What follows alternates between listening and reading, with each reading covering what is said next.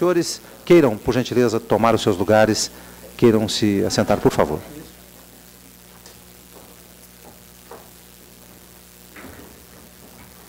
Senhor presidente, o senhor tem a palavra. Bom, boa tarde a todos. Vamos iniciar agora o nosso sétimo painel. É o último painel do nosso seminário, o quinto seminário internacional de Direito Administrativo e Administração Pública. Recebemos aqui com muita honra os nossos convidados para tratar de um tema altamente sensível. Acho que esse ano é, está ainda mais sensível na nossa sociedade e é, será com certeza muito interessante ouvir as opiniões dos nossos convidados a respeito do tema, que é o tema do combate à corrupção. Então nós recebemos hoje com muita honra o governador Pedro Tax, que já foi senador da República também e ocupou durante muitos anos um cargo no Ministério Público Federal, além de ser professor de Direito Constitucional. Então, com segurança, aí pode falar para nós, com base nas mais distintas perspectivas, uma visão muito qualificada sobre esse problema da corrupção. Nós estamos recebendo hoje também o professor Gilson Dipp, ex-ministro do Superior Tribunal de Justiça, hoje professor também da nossa casa, com ampla experiência no tema, não só como julgador, mas também como professor. Recebemos hoje também, com muita honra, o professor Santiago Gomes, da Universidade de Corunha, que também poderá dar uma visão acadêmica para nós sobre o tema. E também estamos recebendo a senhora Indira Fernandes, que fará o encerramento desse nosso último painel. Então, nós agradecemos muito a presença dos nossos palestrantes e, sem mais delongas, passamos a palavra, então, ao governador Pedro Tax.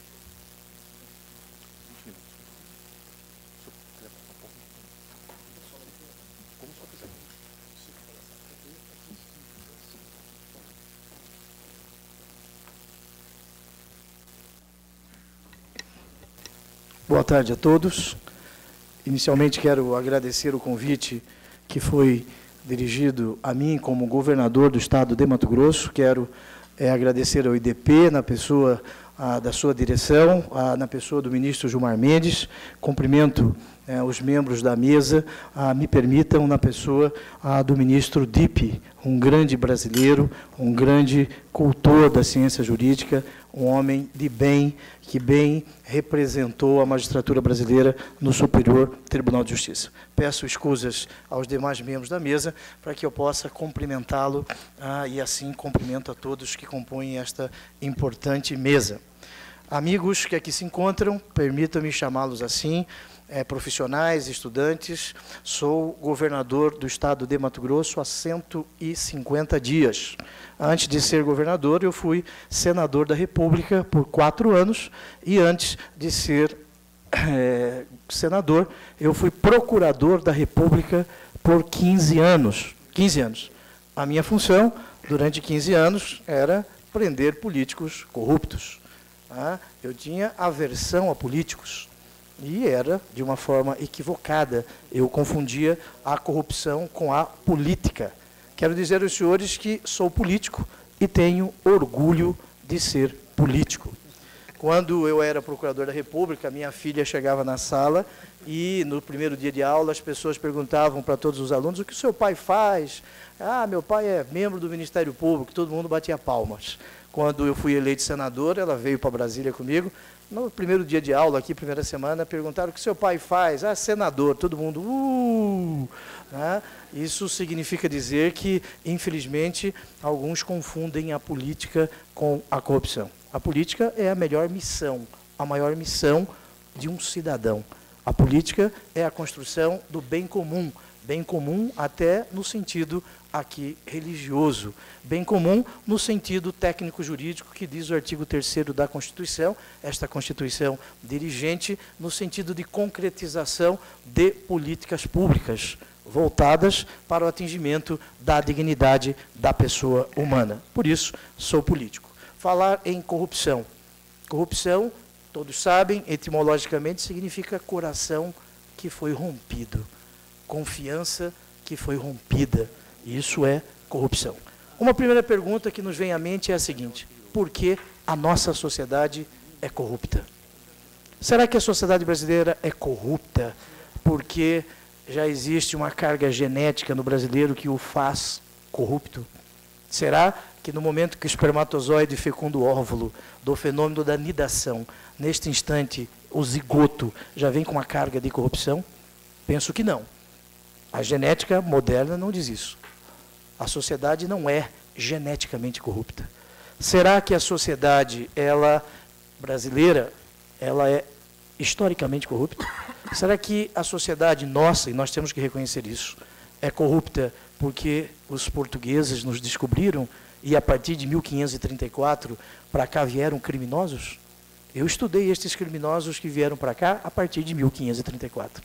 Eram pequenos criminosos, pequenos estelionatários, diversamente da Austrália, que surge de uma penitenciária da Inglaterra, que para lá foram grandes criminosos.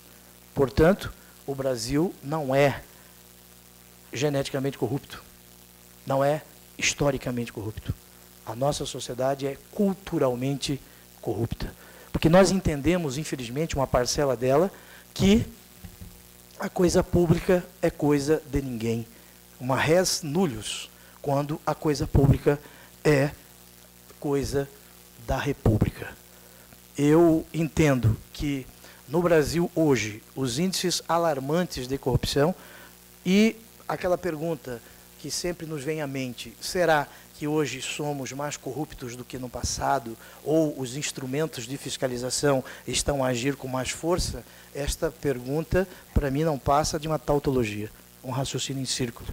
Não me interessa se somos mais corruptos hoje a sociedade ou se os instrumentos de corrupção, eles, de combate à corrupção, eles se apresentam com maior concretude. O que interessa é que a corrupção tem matado pessoas.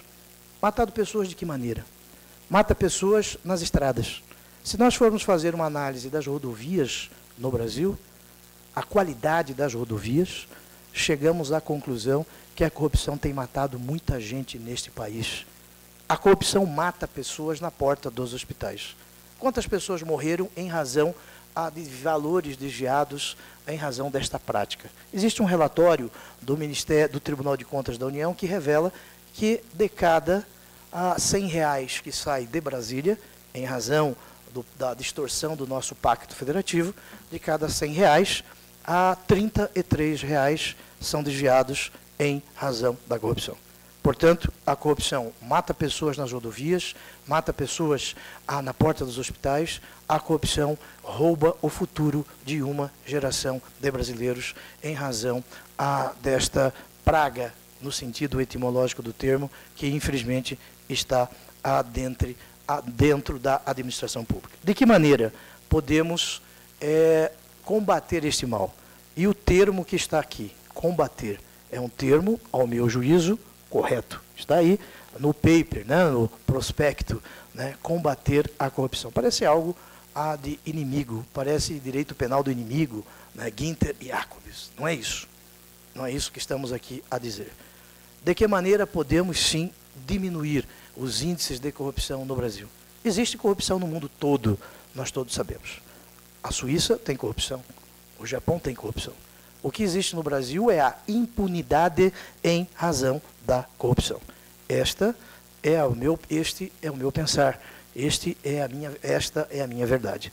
Ah, eu não quero aqui incutir a minha verdade ah, sobre a verdade de ninguém, mas existem verdades absolutas, como nós todos sabemos. Entendo que a impunidade que graça no Brasil é uma das causas e consequências da corrupção. Exemplifico aqui. Fui senador durante quatro anos. Fui procurador da República antes, por isso eu fiz referência a este meu passado. E antes de ser procurador da República, eu fui procurador do Estado de São Paulo. Fazia defensoria pública. Defendia hipossuficientes, o eufemismo para pobres. Defendia pobres. Isso há mais de 20 anos atrás. Eu tenho certeza que durante o tempo que eu fui defensor público, e por mais que eu tivesse esperneado juridicamente para fazer a defesa, né, eu tenho certeza que muitos dos meus assistidos na Procuradoria do Estado de São Paulo, fazendo assistência judiciária, ainda podem estar presos. Depois eu fui Procurador da República. Mudei o meu patamar, o patamar da busca da chamada verdade real, da busca do, da responsabilidade daqueles que cometem crime. 15 anos como Procurador da República em 12 estados da federação. Consegui a prisão e processos de senadores, deputados, presidente de autarquias, de instituições, presidente do Congresso Nacional, e estes processos, depois de tanto tempo, até hoje, eles penal no Brasil pelos pobres. O direito penal, ele está aqui na senzala, ele precisa sair da senzala e adentrar na casa grande. Eu não estou aqui buscando defendendo o direito penal a de categorias sociais, mas o direito penal não pode ser um direito penal a, individual no sentido de proteção de bens jurídicos apenas do Tício, do Caio, do Mévio, que falava ao grande Nelson Hungria. O direito penal, ele não pode se preocupar apenas, apenas com bens individuais. O que eu quero dizer com isso? Fui autor do pedido e cuja, a, cujo resultado foi a constituição de uma comissão para a preparação de um novo Código Penal no Brasil. O ministro Dipp foi o presidente desta comissão especial de juristas para a elaboração de um novo Código Penal.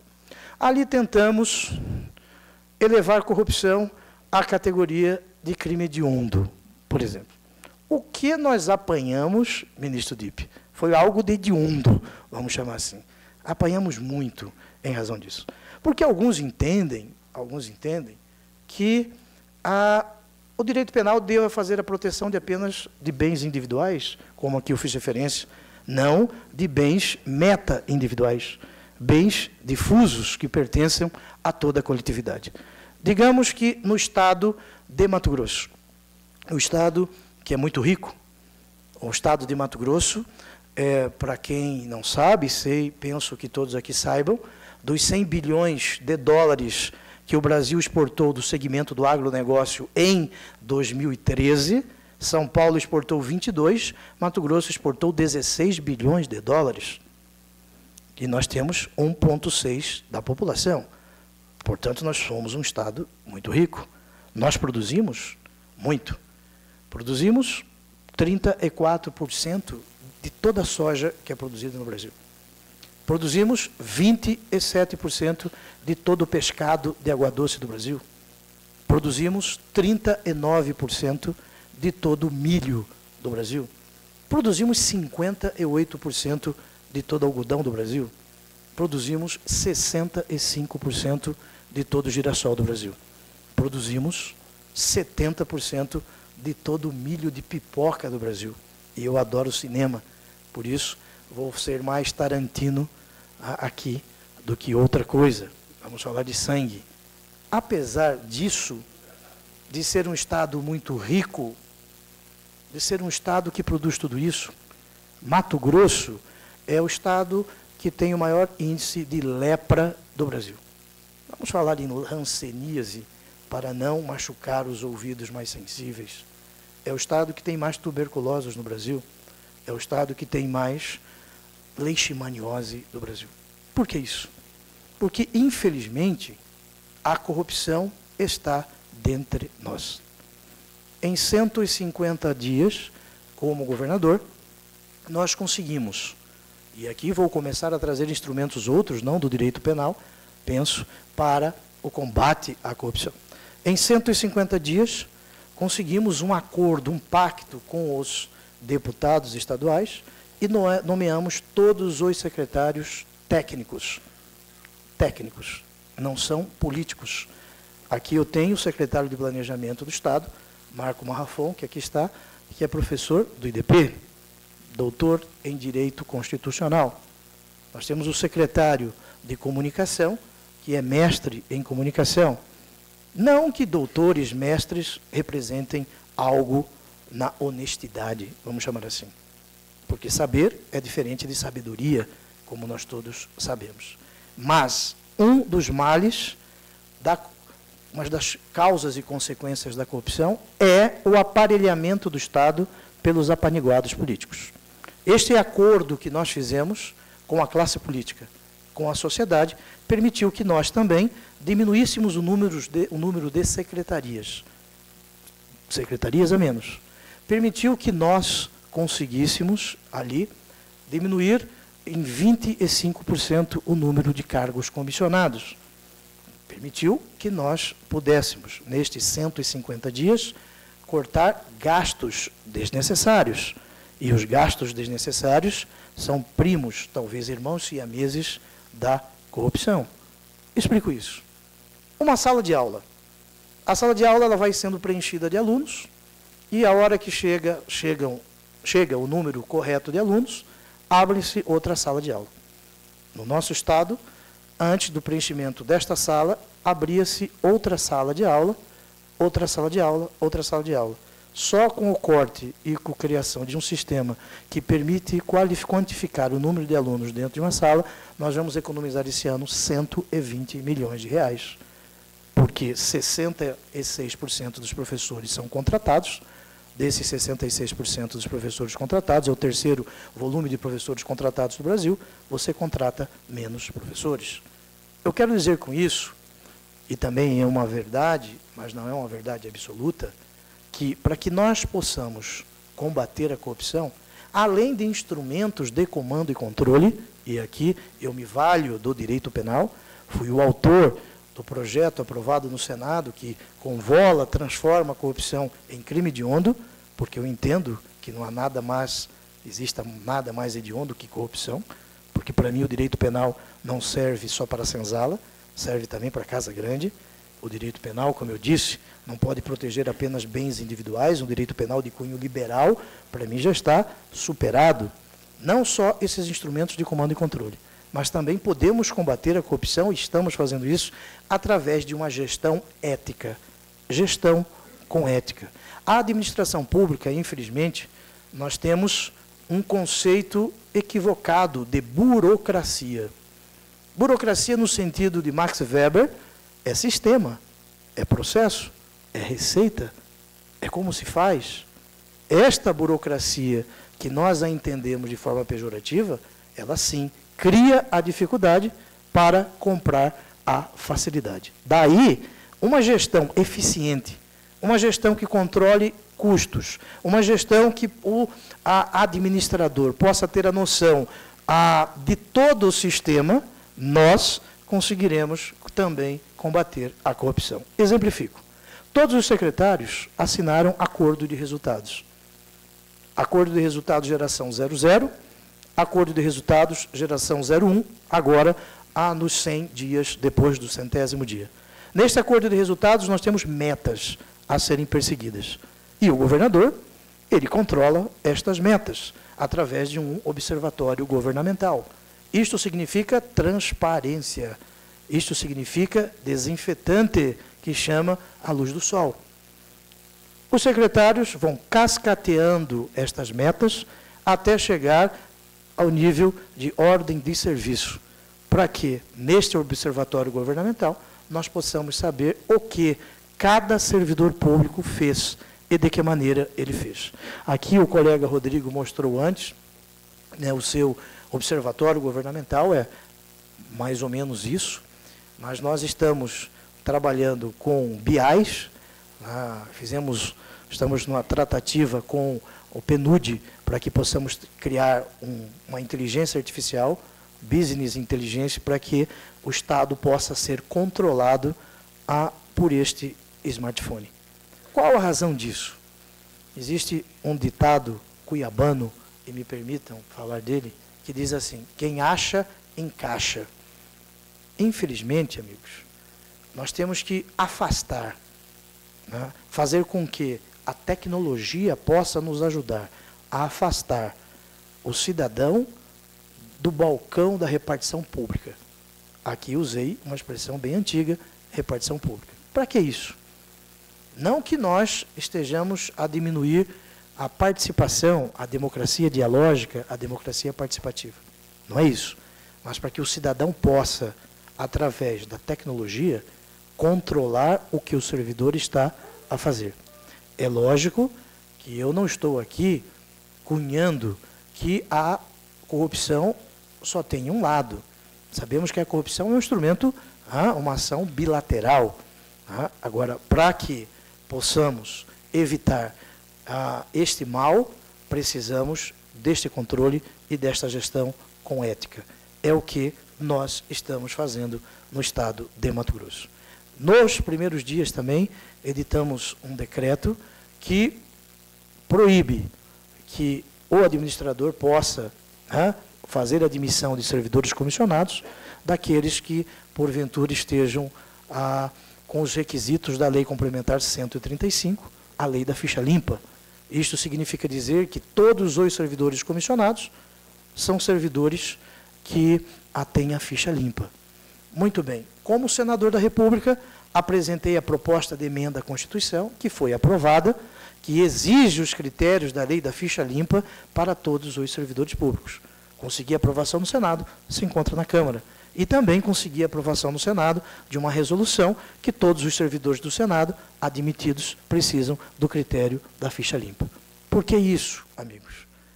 Porque Cândido, como diz o ministro, ministro Carlos Aires Brito, grande ministro do Supremo Tribunal Federal, Cândido vem de alvo, vem de limpo, vem de algo sem mancha, sem nódoa no seu passado. Daí, a aprovação desta emenda no Senado não foi aprovada na Câmara e desta resolução, ela é, foi a causa a, da, deste decreto que nós ali editamos. Também a, editamos um decreto no sentido, vedando qualquer pagamento nos 100 primeiros dias do governo. Qualquer pagamento.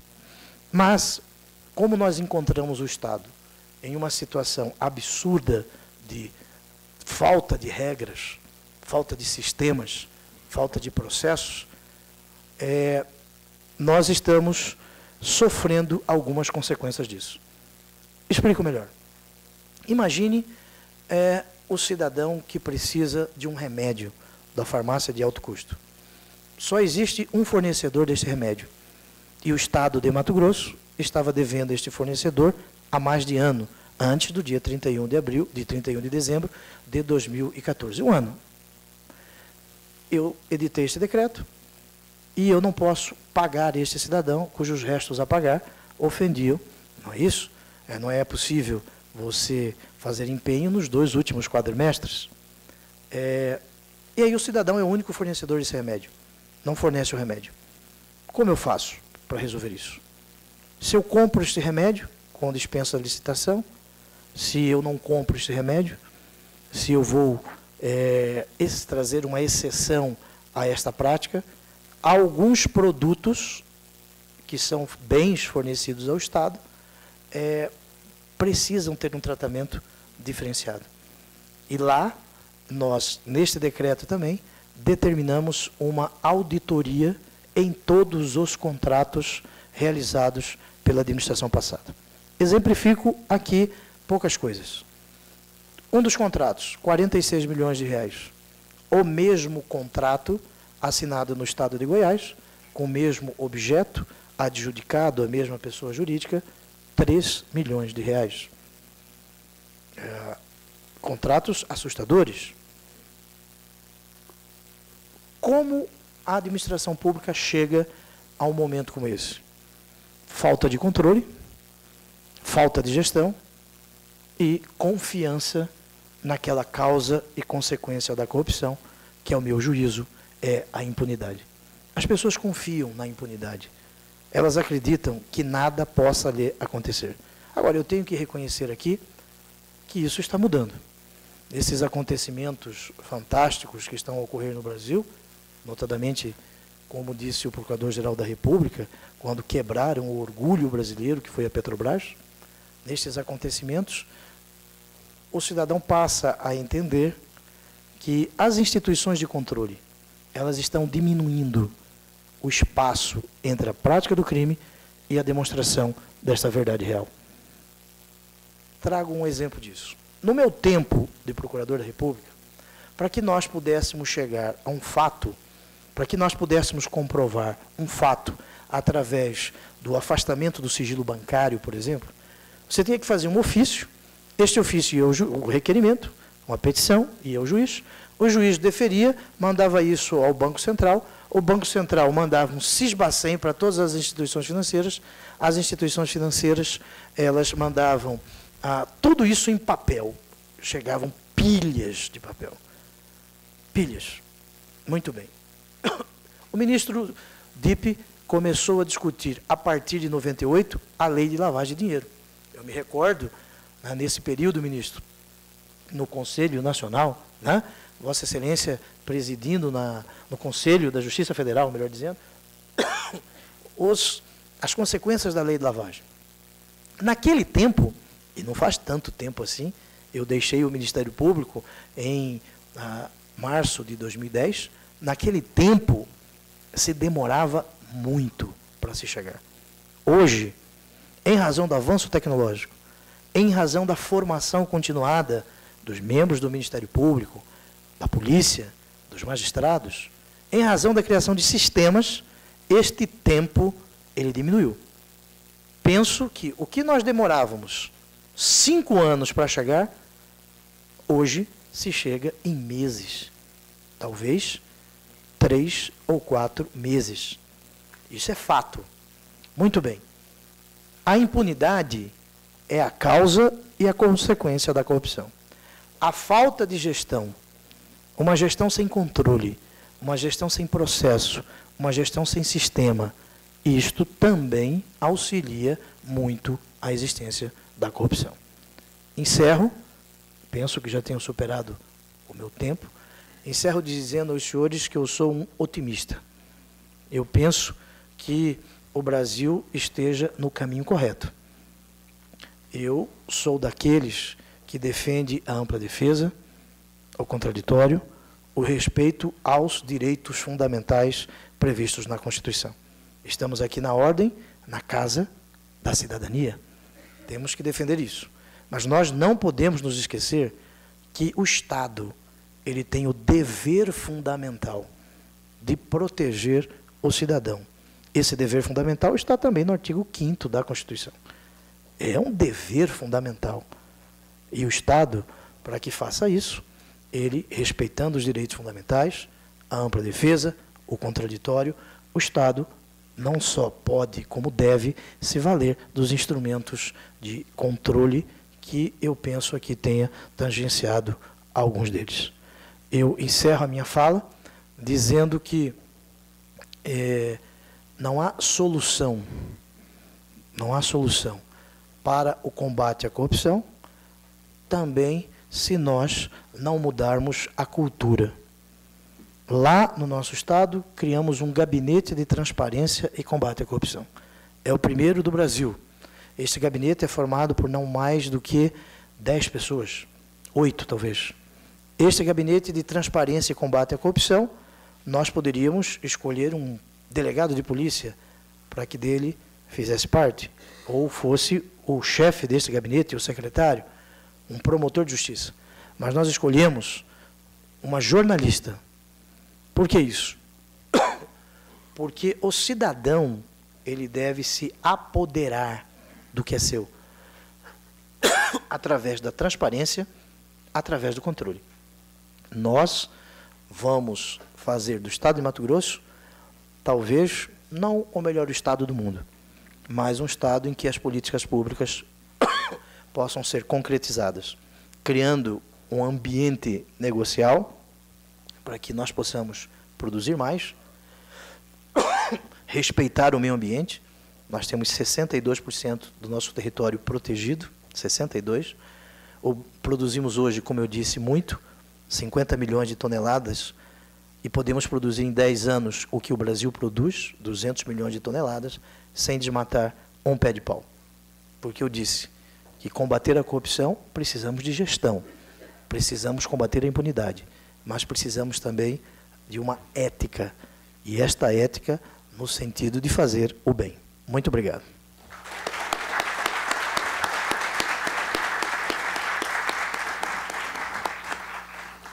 Nós agradecemos a palestra do excelentíssimo conferencista, governador Pedro Tax.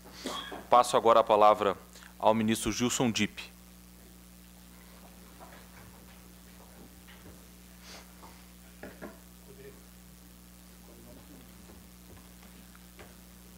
Boa tarde a todos. Quero cumprimentá-los na pessoa do presidente da mesa, doutor Rodrigo, doutora Indira, da UNODC, professor Santiago Gomes, da Universidade de La Coruña,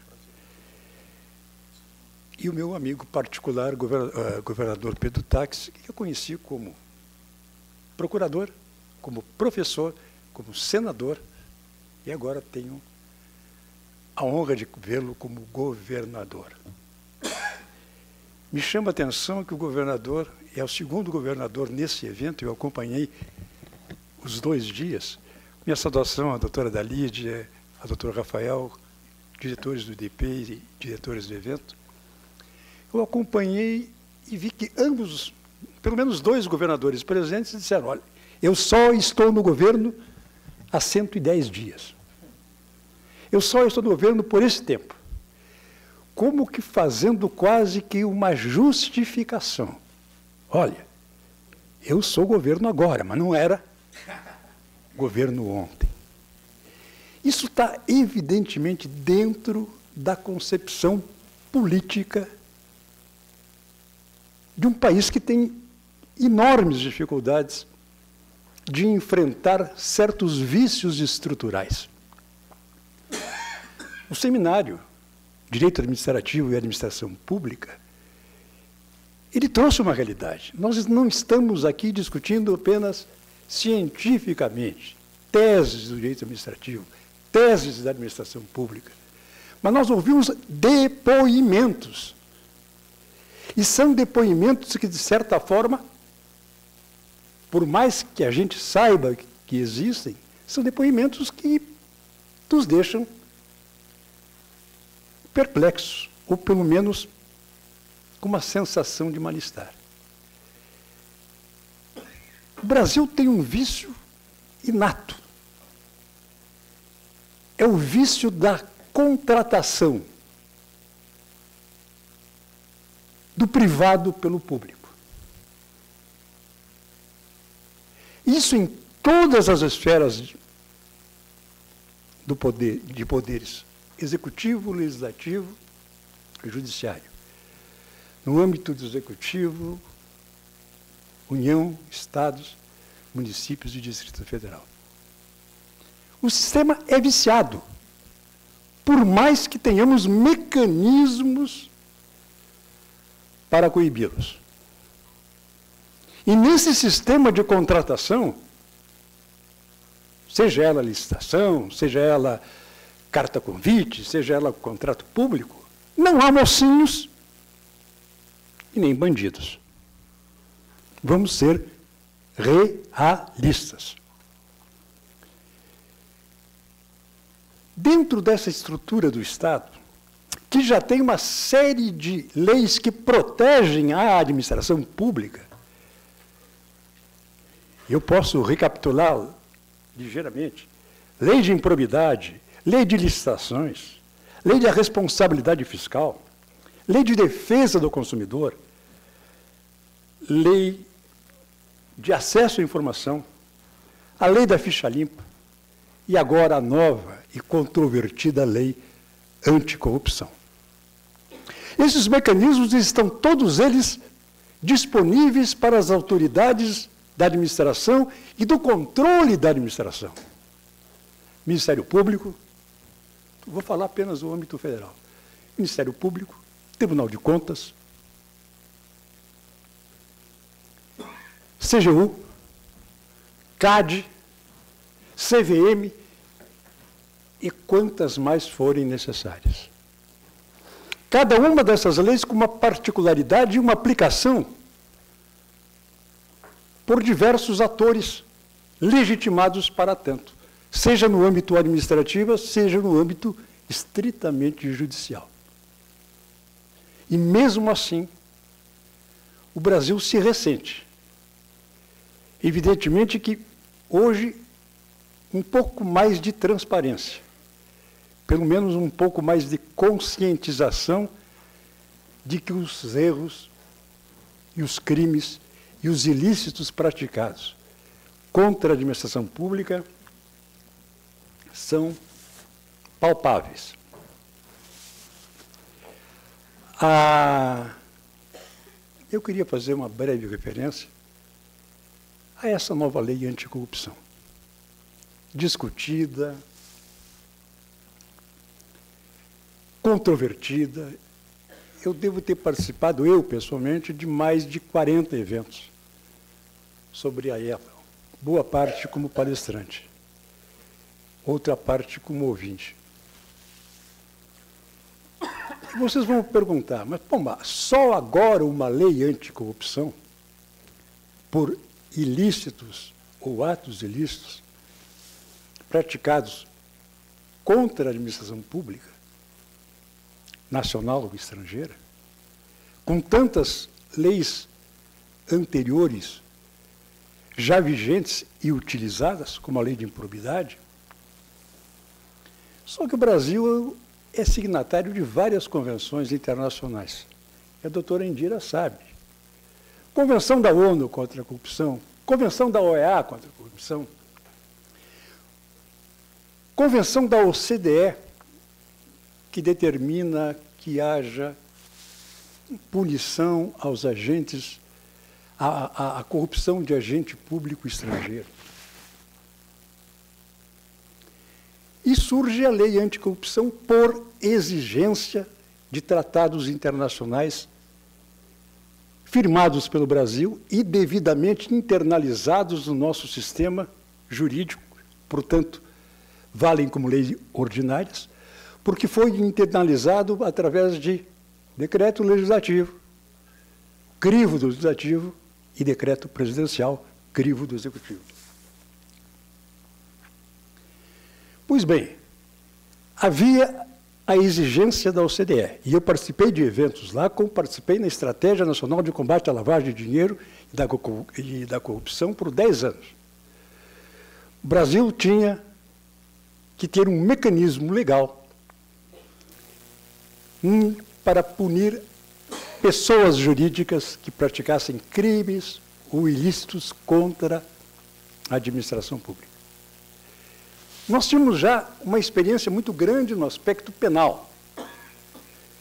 Estamos enriquecendo a, com a criação de novos tipos penais. Não que eu seja defensor de novos tipos penais, mas algum deles que estão em convenções como enriquecimento ilícito, nós não temos capitulação legal. Podemos até enfrentar a situação de fato utilizando-se de tipos penais diversos. Pois bem, o Brasil tinha que responsabilizar a pessoa jurídica por ato ilícito praticado contra a administração pública. No entanto, essa responsabilidade deveria ser uma responsabilidade objetiva,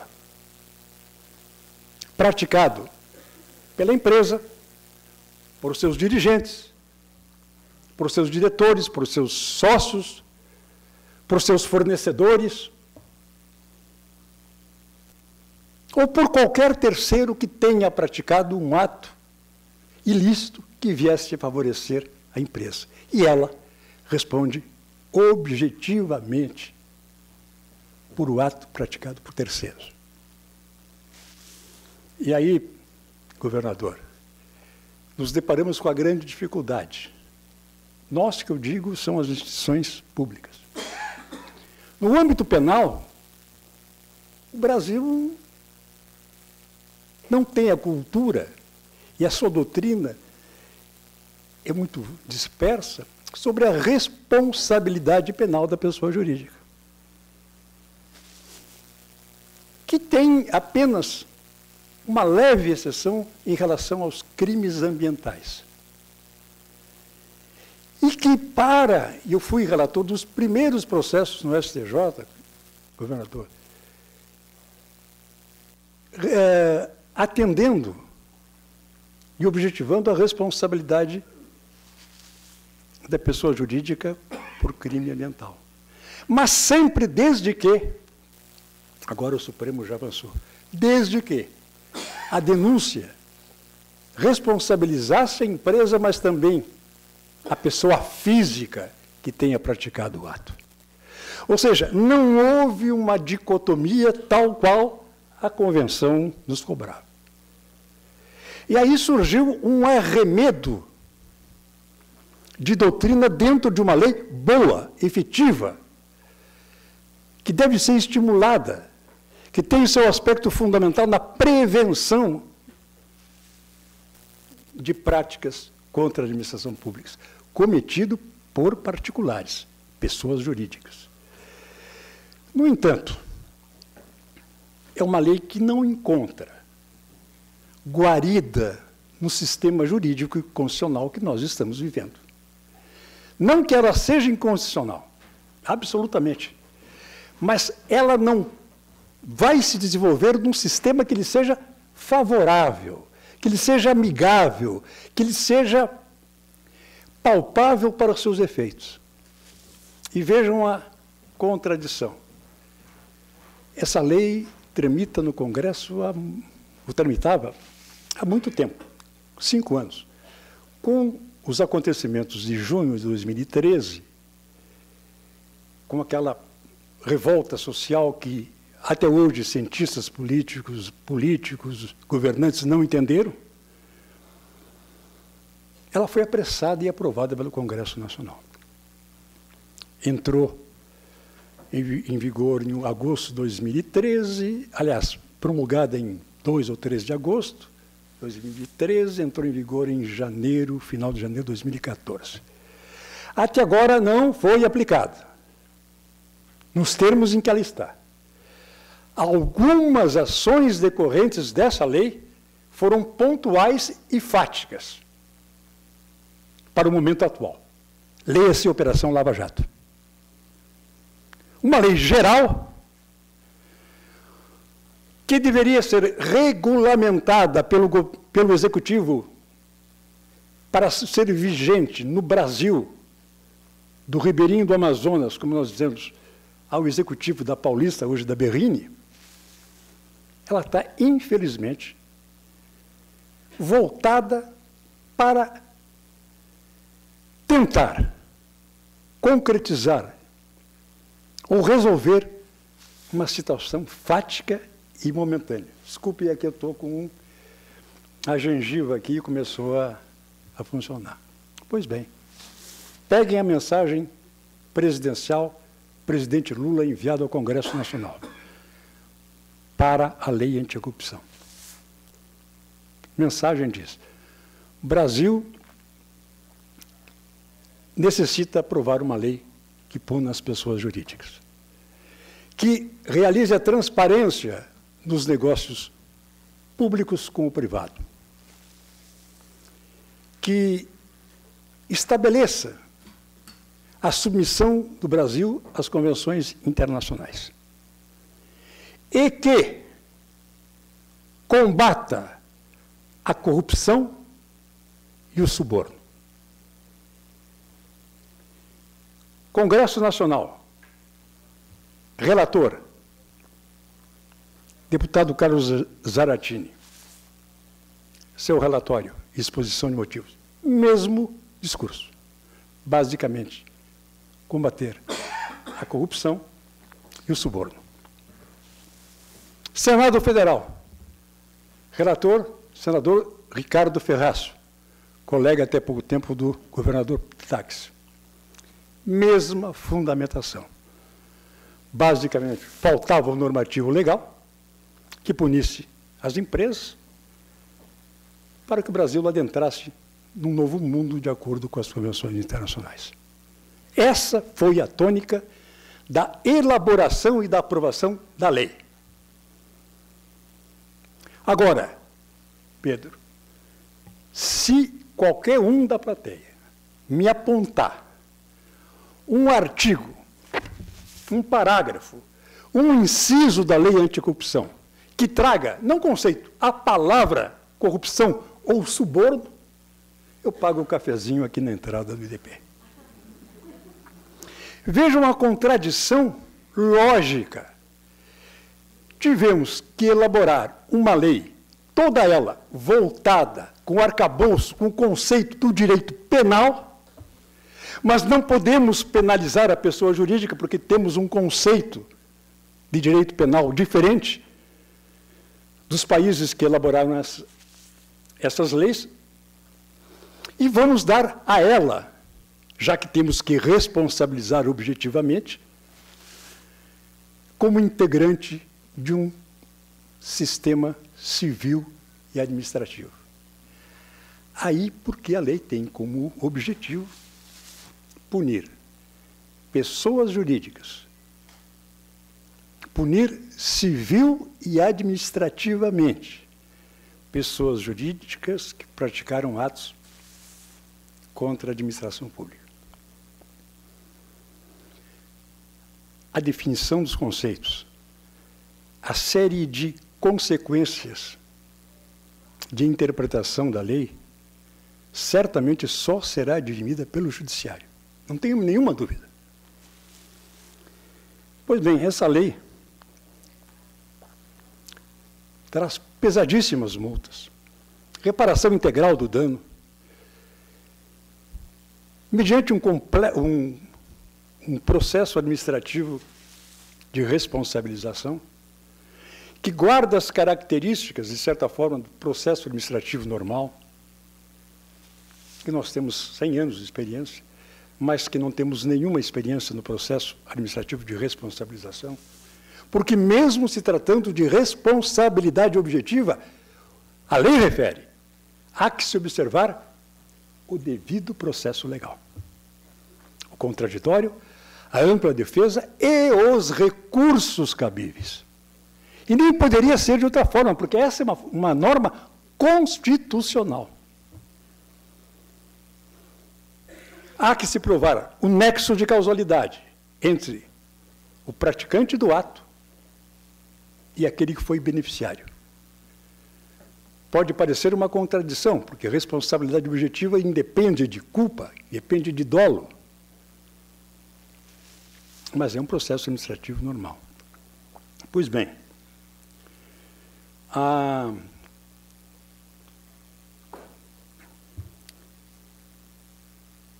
Tem institutos novíssimos. O acordo de leniência, tanto se comenta.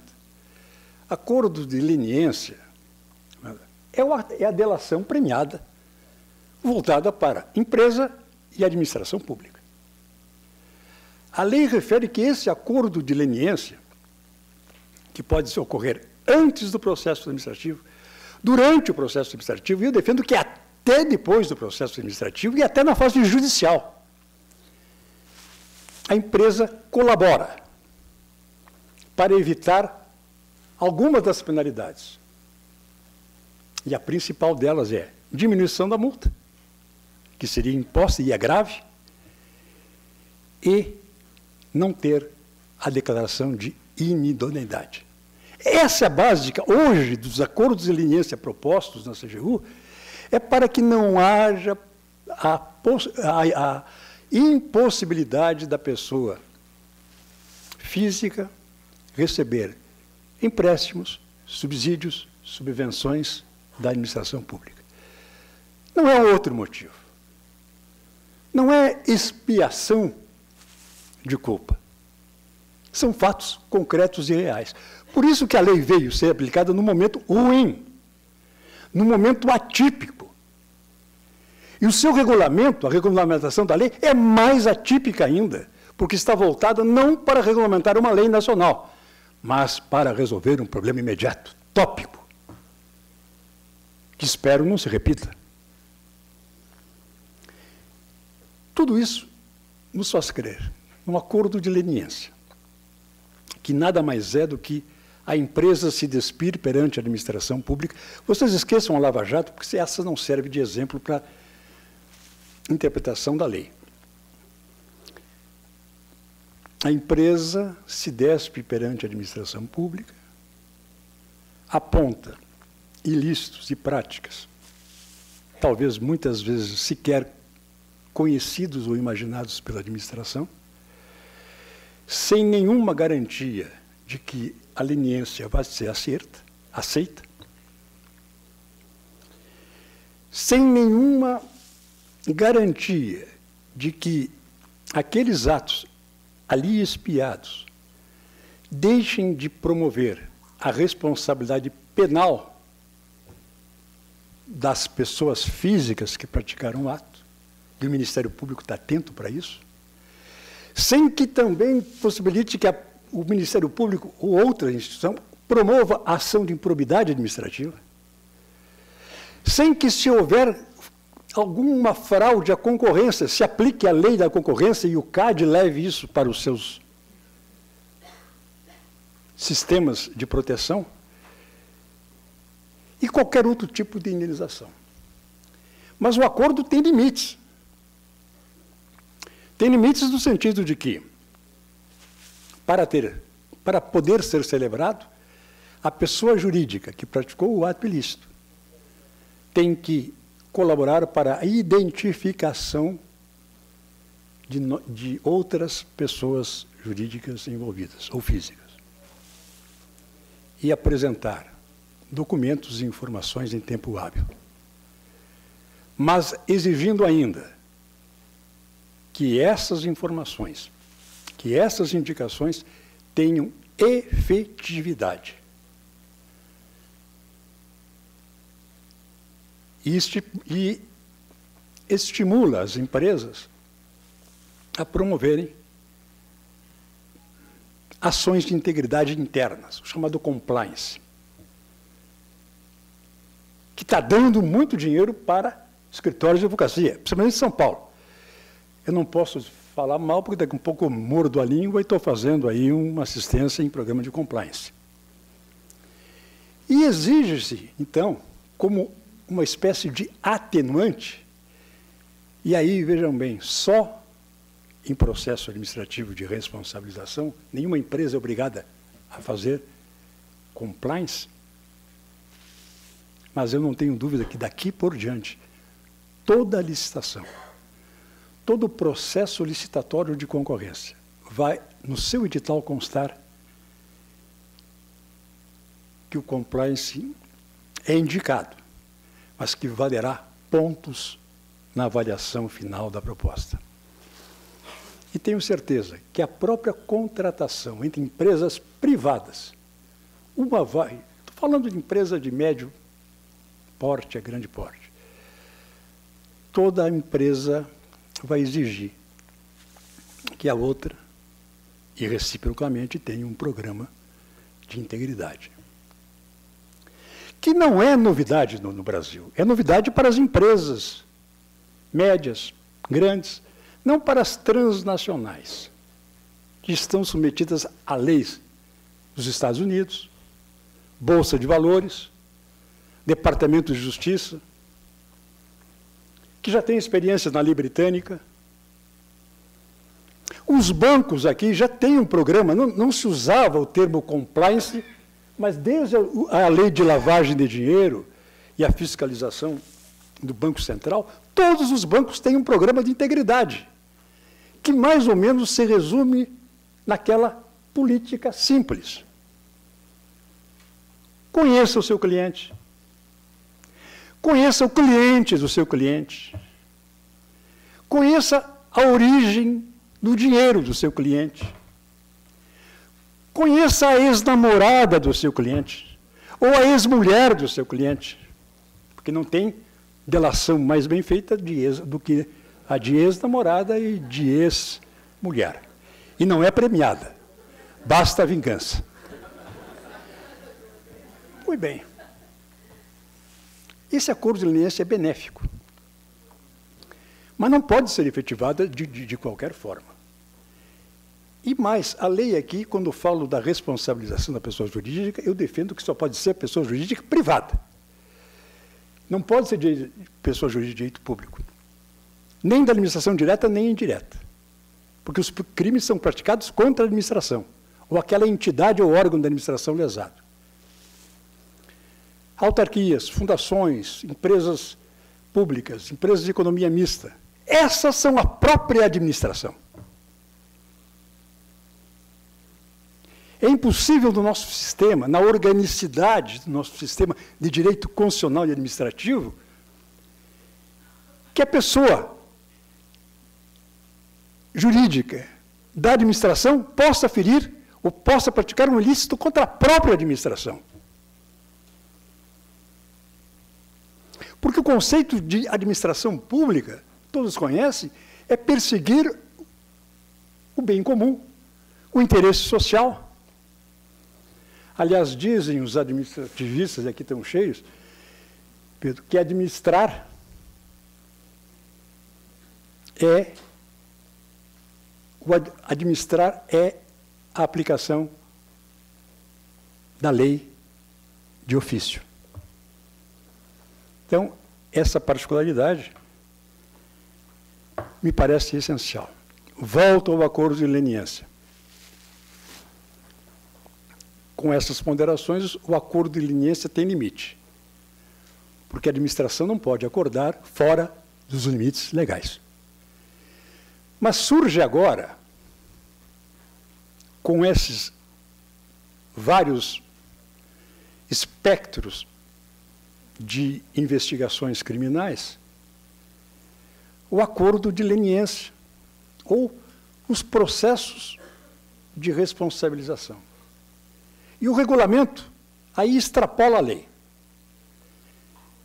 O regulamento, eu sempre aprendi, que visa regulamentar, complementar, esclarecer a lei, mas não extrapolar a lei. E aqui, no regulamento federal, tem vários aspectos que a lei foi extrapolada, dando poderes que a lei não confere ao CGU, à CGU, dando, diminuindo o valor das multas, que eu concordo, são altas demais, mas para isso precisa haver modificação legislativa e eu duvido que no Congresso Nacional tenha alguém com quem a coragem de diminuir as multas de uma lei anticorrupção e muito menos força do Executivo para propor a modificação. Não dá para modificar a lei? Simples. O regulamento, ato do Poder Executivo, o faz. Mas, nesse palco do acordo de leniência, tem 29 processos administrativos de responsabilização tramitando na CGU, dita pelo secretário executivo, que eu conheço há muito tempo. Quatro pedidos de acordo de leniência. Nenhum ainda homologado ou deferido. Eu já acho que a CGU não teria a competência para iniciar o processo. Para o acordo de leniência, a lei é clara, sim. No âmbito federal, é a CGU. No âmbito estadual vai ser controladoria ou, ou que aquilo que a lei estadual dispuser. Mas além desse protagonismo centralizador e excessivo da CGU, por motivos óbvios, entraram mais dois atores que não estão previstos na lei. E eu diria, atores, se não estão previstos na lei, são atores indesejados. O que, que nós vemos no acordo de leniência hoje? TCU, Tribunal de Contas da União, belíssimo órgão, já disse que, por envolver, eu não concordo, porque nem todo o ato de corrupção provém de fundos públicos. Pode vir de outros fatores. Todo acordo de leniência tem que ser submetido à TCU. Não está na lei. O TCU tem normas constitucionais e legais que o regem e o definem a sua competência. Já tem a tomada de contas, que é o processo mais envolvente da CGU, mas está dando ibope, TCU quer participar do acordo de leniência. Para dar segurança jurídica. Vai dificultar o acordo. Mas o pior, o Ministério Público também quer participar do acordo de leniência, que é um acordo em processo administrativo, civil, civil ou administrativo, independentemente já dos acordos de colaboração premiada que está efetuando. Ah, porque o acordo de leniência, as informações trazidas pela empresa podem não ser tão grandes como aqueles que são apurados na instância penal as relações penais. Como se não houvesse, Pedro, e aí eu sou crítico, um crítico da lei, como se não houvesse a independência das instâncias. O que eu quero dizer com isso é que o palco é bom, há um protagonista que está exagerando no seu papel, e há atores que são coadjuvantes e que nem deveriam ser, e que querem ocupar o mesmo palco. E esse palco é pequeno para todo mundo. E aí, já estou terminando, Rodrigo, e aí é a minha dúvida sobre a efetiva aplicabilidade dessa lei. Lei no seu sentido teleológico, sistemático, legal, essencial para o Brasil. Mas inserida num sistema legal que não lhe é acolhedor. E pior, na primeira expressão de sua vigência e eficácia, se dá num momento atípico e não propício. E o regulamento também, que ficou um ano para ser elaborado, chega num momento em que ele vai ter, ou pretende, resolver é, situações particulares. Rápida palavra sobre compliance. O regulamento exige ou formula todos os temas que devem ter no programa de compliance para que ele tenha eficácia perante a administração, no caso de uma penalização ou no caso de um acordo. E elenca uma série de requisitos. Quando eu li aqueles requisitos, Pedro, eu digo, estou na Suécia, ou estou na Dinamarca, mas não estou no meu Brasil. Não estou na pequena, maior um pouco empresa do Mato Grosso. Eu sei que para as micro e pequenas, micro e pequenas empresas vai ter um regulamento próprio. Mas o Brasil não é feito nem de empresas transacionais, que negociam na Bolsa de Nova York, na Bovespa, no Reino Unido, e nem de empresas micro e pequenas. Nós temos uma escala. A maioria das empresas são de pequena para grande, para média, de média para grande e de grande para transnacional. Vai ser muito custoso, vai ser muito caro implementar um sistema desse. Oneroso. E o sistema não é para onerar nenhuma empresa. Acho que não é o número de abordagens em um sistema de integridade que vai lhe dar eficácia. E tem que deixar um certo grau de criatividade para a empresa verificar quais os seus defeitos, quais são os riscos que ela corre. Como é que vai abrir um canal de denúncia de irregularidades? Quem é que vai ser o responsável pelo programa de integração, de integridade? E, ao mesmo tempo, há que se ter um certo discernimento para deixar ao subjetivismo da administração avaliar face ao caso concreto. Esta é, sem querer aterrorizar ninguém, mas essa é uma visão crítica que eu tenho sobre uma lei boa, efetiva, tomara que ela não seja uma daquelas leis que não vingam, leis que não pegam. Foi um privilégio ter estado com vocês.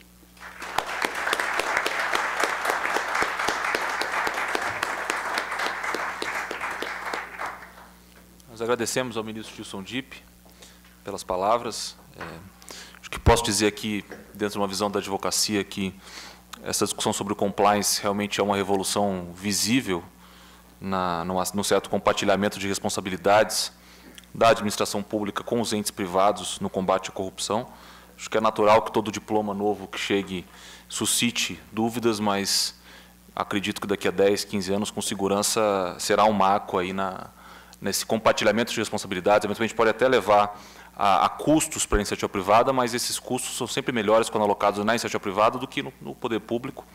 E percebo dentro das empresas uma certa sensação de que o compliance é um dever, é uma necessidade e pode no futuro ser um critério de diferenciamento, de diferenciação, inclusive em termos de mercado. Mas passo a, a sem mais delongas, a palavra à advogada, a senhora Indira Herrera Fernandes, especialista em anticorrupção e lavagem de dinheiro, com mestrado em Direito Internacional na Universidade de Georgetown e que com certeza poderá nos trazer uma diferente perspectiva de análise desse problema da corrupção. Boa tarde, eu queria agradecer a oportunidade de estar aqui representando o Escritório das Nações Unidas contra Drogas e Crime no Brasil.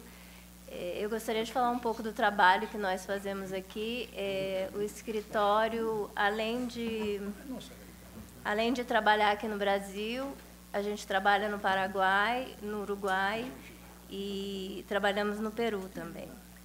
É, nós aqui fazemos assistência técnica, eu pelo menos, que é, que é a minha seção de Estado de Direito, fazemos assistência técnica para os Estados-membros em é, corrupção e lavagem de dinheiro.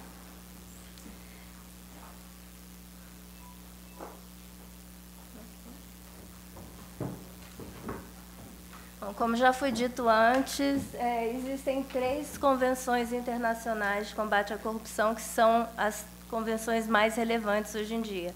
A primeira é, a ser lançada foi a Convenção da OEA, Convenção Interamericana de Combate à Corrupção.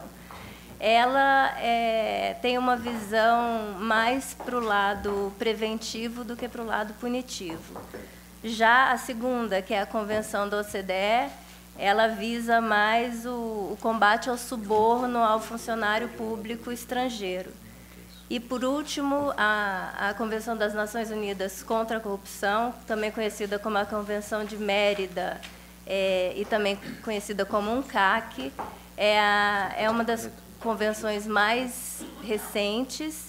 Ela é de 2003, foi aprovada em 2003 e hoje já foi ratificada por mais de 140, 140 países. É, dos, um dos diferenciais dessa convenção da, da ONU é que ela abrange, além da prevenção, ela abrange a punição e dois outros itens que quase não, não são é, tocados nas outras convenções, que um deles é a cooperação jurídica internacional e o outro é a recuperação de ativos.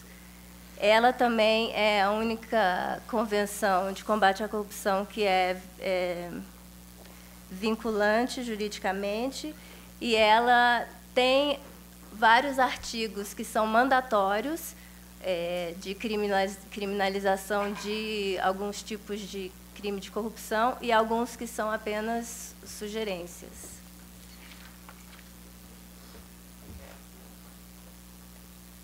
Bom, como eu já falei antes, uma das, é, das diferenças dessa convenção é que ela toca nesse assunto de cooperação e assistência técnica internacional, incluindo a recuperação de ativos.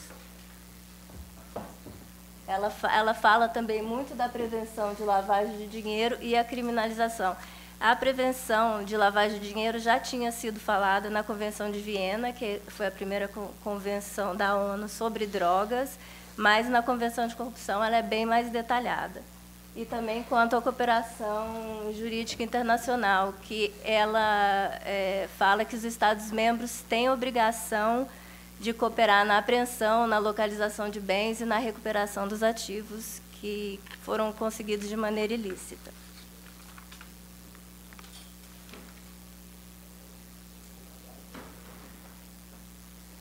A UNCAC também diz que, quanto aos bens do produto do crime, se eles não forem localizados, eles podem ser substituídos por bens de valor equivalente.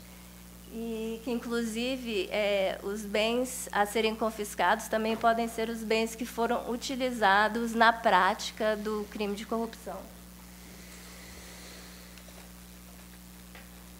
Os mecanismos de avaliação da UNCAC, é, ele é chamado de peer review que é um mecanismo que dois países são escolhidos para avaliar o outro país.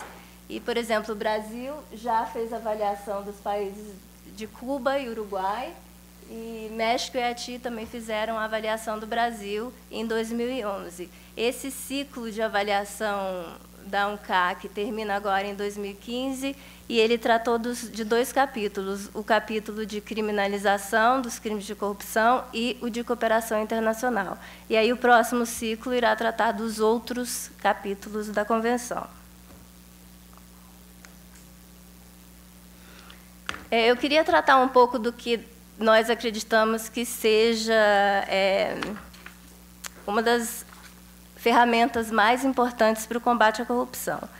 Primeiro, é, asfixia financeira, quer dizer, você tirar os bens que foram conseguidos ilicitamente da, da organização criminosa, e também a cooperação jurídica internacional. Cerca de 90% dos casos hoje em dia que são investigados em corrupção dependem da cooperação jurídica internacional, quer dizer, dependem do auxílio dos outros países para que essa investigação possa, possa ser feita, seja para um interrogatório, moitiva, é, requisição de documentos, mas é muito importante hoje em dia a cooperação jurídica internacional, já que o crime organizado está tá se aproveitando da globalização, eles agem, é, não tem fronteiras para eles, então já não é mais um crime que é cometido num só país, ele é, ele é um crime mundial.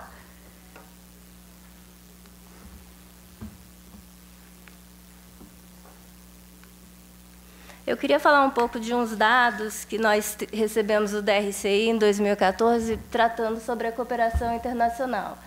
É, em 2014, 84% dos pedidos recebidos e, e enviados para outros países, 84% deles foram pedidos ativos, quer dizer que o Brasil fez a outros países, e apenas 16% deles foram pedidos que foram recebidos de outros países. Esse, esse volume grande de pedidos de cooperação internacional, a maior parte deles é feita do Brasil para o Paraguai.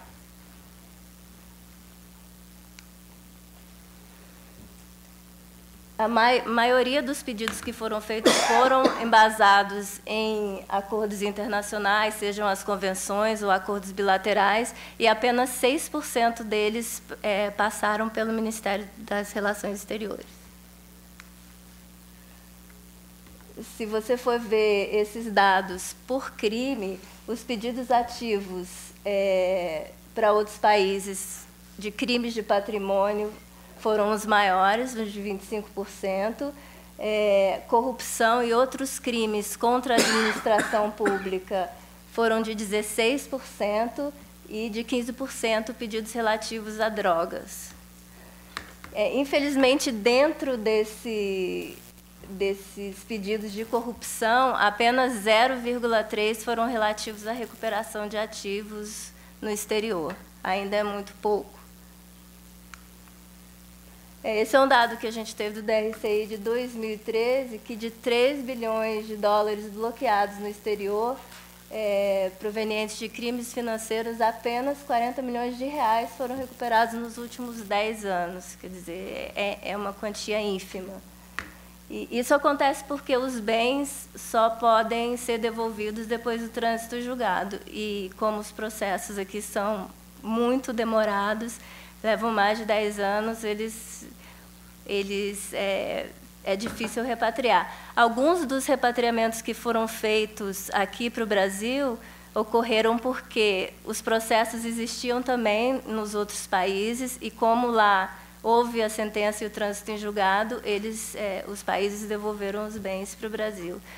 A UNCAC, é importante ressaltar que a UNCAC ela é uma convenção que diz que quando os bens foram, forem relativos a crimes cometidos contra a administração pública, eles devem ser repatriados integralmente para o país e, e para as vítimas.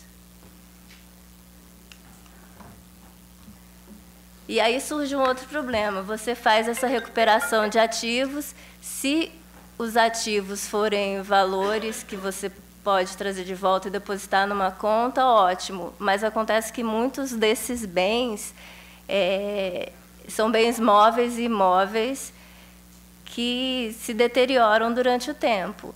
Um problema grande do Brasil é que não existe uma gestão da administração desses bens, não não se sabe como cuidar desses bens enquanto o, não, não sai a sentença.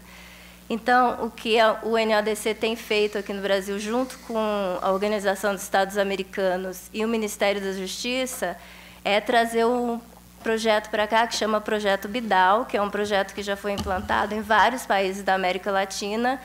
Esse projeto traz as boas práticas de outros países que já, já têm essa gestão de administração de bens e o que ele busca fazer primeiramente é, na, numa primeira fase, fazer um diagnóstico situacional do país e, por fim, e depois desse diagnóstico, verificar qual a melhor alternativa para o país na questão de gestão de bens. No diagnóstico inicial, que foi é, apresentado há mais ou menos umas duas semanas, um dos grandes problemas do país é que não existe um sistema que registre os bens. Existe até um sistema, mas ele não é completo. Então é muito difícil você saber qual o valor total dos bens que se encontram no Brasil e, e também onde eles estão localizados. É muito complicado descobrir onde o bem está. E a maioria desses bens já quase todos deteriorados. Então, uma das sugestões que foram feitas inicialmente pelo projeto Bidal é que se deva incentivar a alienação antecipada desses bens, porque é bom para o Estado e também muito bom para a pessoa que, se ela por acaso não for condenada, ela vai ter aquele valor é, do jeito que estava quando ele foi, quando o bem foi apreendido. Então, essa é uma das sugestões. Agora tá, vai ser formado um grupo de trabalho para conversar mais sobre as outras soluções e aprender mais como é feita essa gestão de bens em outros países. Então, essa é, é um esse é um incentivo muito importante para o país, porque não adianta nada você ter essa quantidade enorme de bens se você não sabe o que fazer com elas e, inclusive, os bens ficam deteriorados no poder do Estado. É muito complicado. Então é isso que eu tenho dizer. A dizer. Muito obrigada.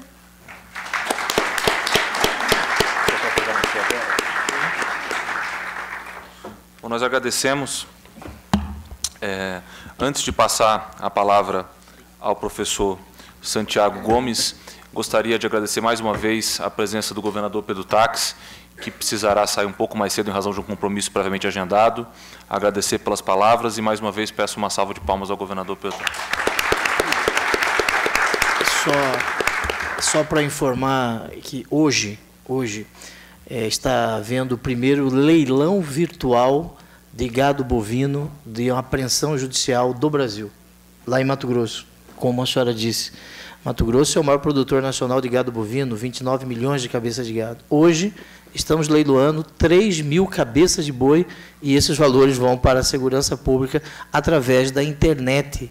Através da internet. É um primeiro caso no Brasil. 3 milhões de reais é, para a utilização pela Secretaria de Segurança. Eu peço desculpas, mas eu tenho um compromisso às 18 horas na presidência da República. Eu vou ter que ir. Qual é o lance, eu, eu não entendo muito de boi, não sei o preço, é, mas eu vou lhe informar, ministro. Muito obrigado. Eu peço desculpas ao senhor, mas eu vou ter que sair.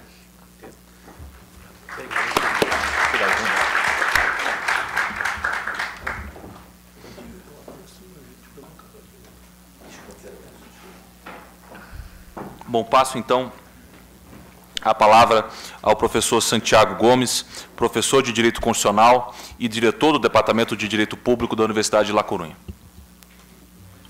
Sim.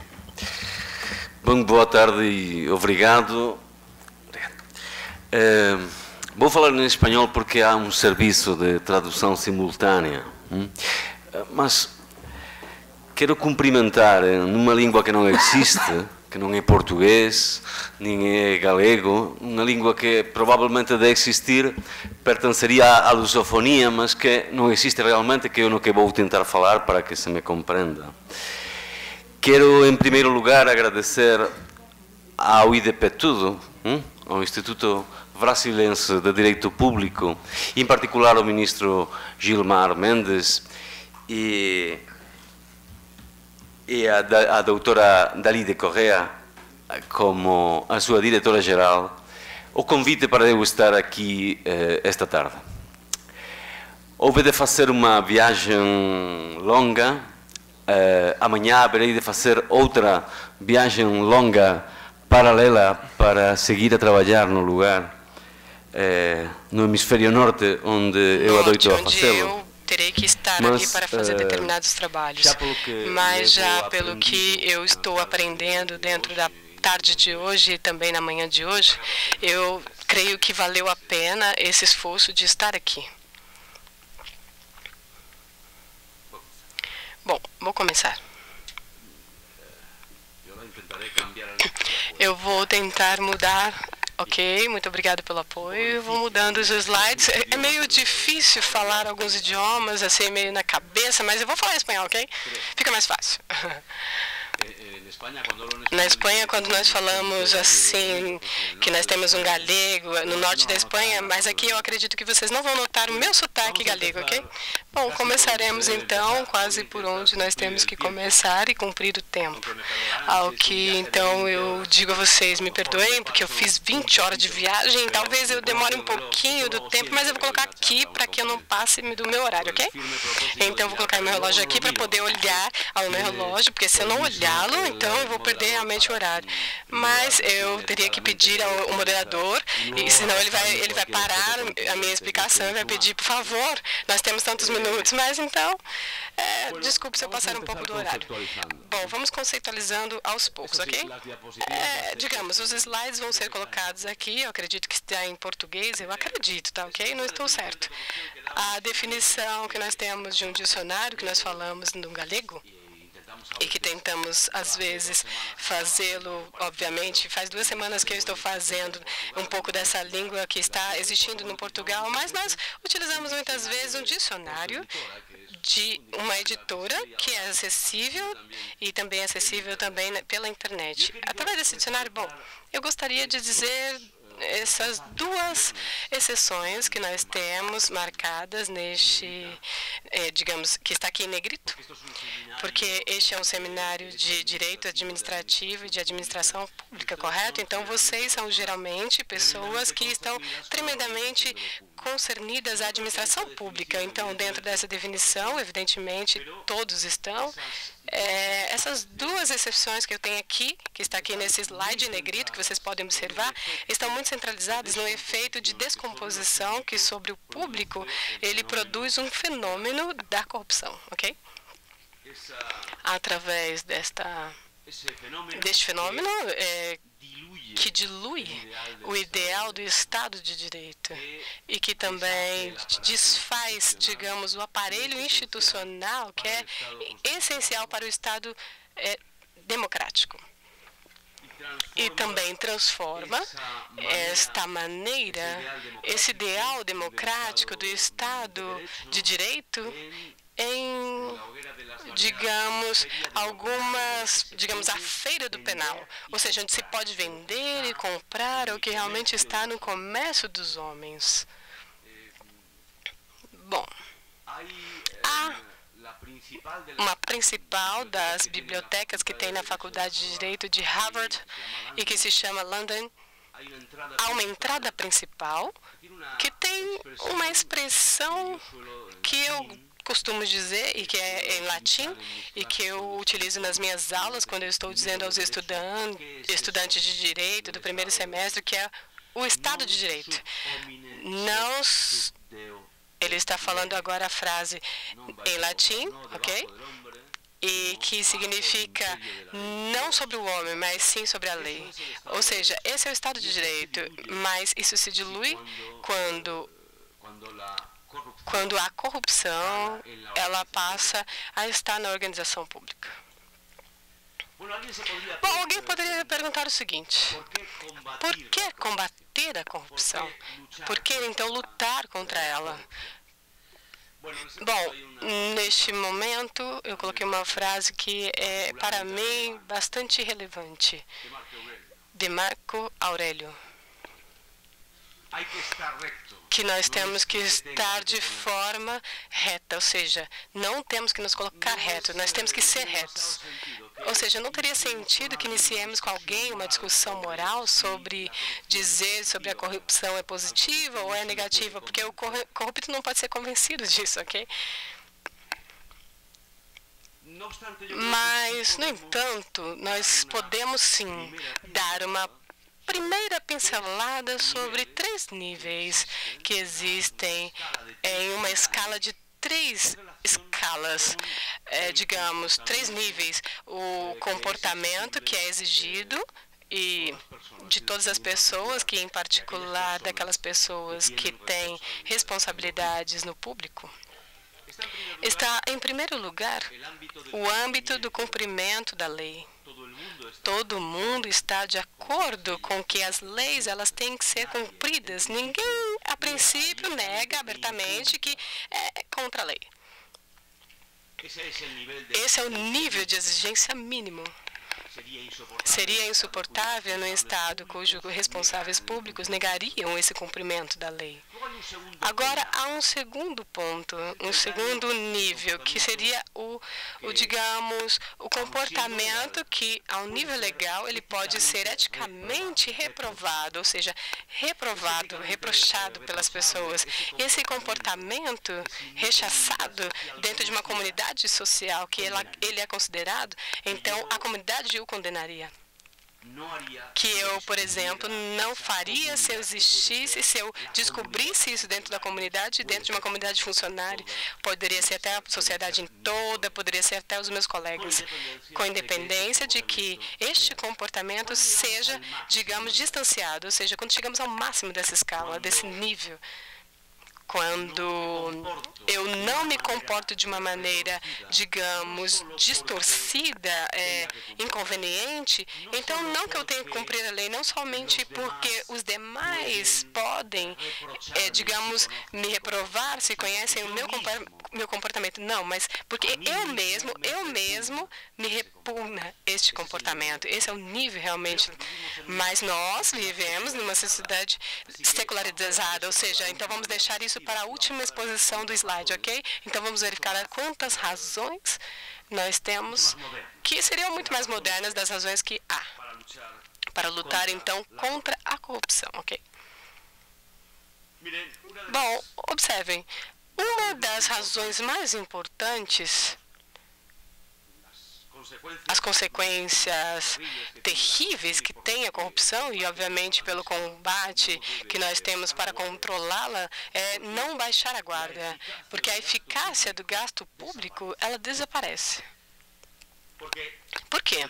Porque o suborno, ou digamos, a propina, esse essa porcentagem de obras públicas que nós estamos contratando e que eu devo estar observando, digamos, o partido ou indiretamente responsável da construção, na realidade, para o empresário participa de uma, digamos, função de custos, onde vai, obviamente, para mim vai custar, é, digamos, para construir uma, uma estrada, temos aí um benefício específico para esse empresário. E também temos um custo adicional ok? Isso seria bastante viável. Portanto, isso se incrementa, digamos, quando se incrementa a, a, a função dos custos desse empresário. Então, vai, claro, incrementar o custo da obra. E, então, quem vai para as obras públicas? Somente nós, obviamente, todos os cidadãos. Com o quê? Através dos seus impostos, ok?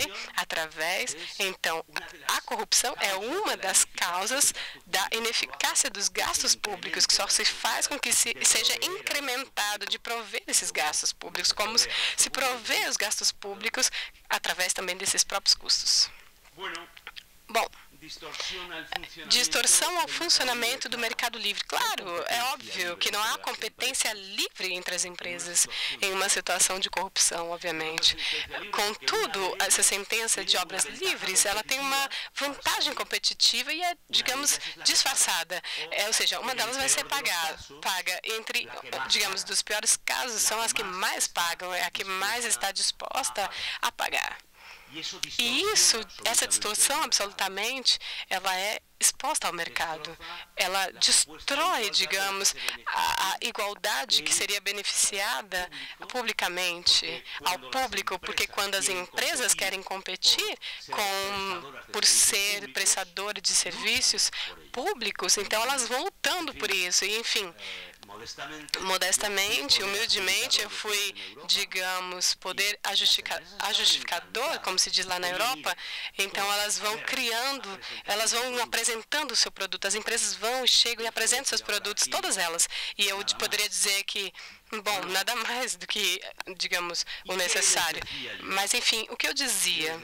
Eu dizia para eles, ah, eu estou encantado porque vocês estão vindo me ver, porque eu estou me sentindo, digamos, como que se eu fosse a noiva que todos querem conquistá-la. Ah, eu sou, então, porque todos me querem naquele momento. Então, digamos, nós temos uma expressão que nós temos na Espanha, que é, nós, por trás nós temos o cidadão. Contudo, nada mais do que a parte pública, nós fazemos então um programa, mostramos todas as pontuações de todas as contratações públicas.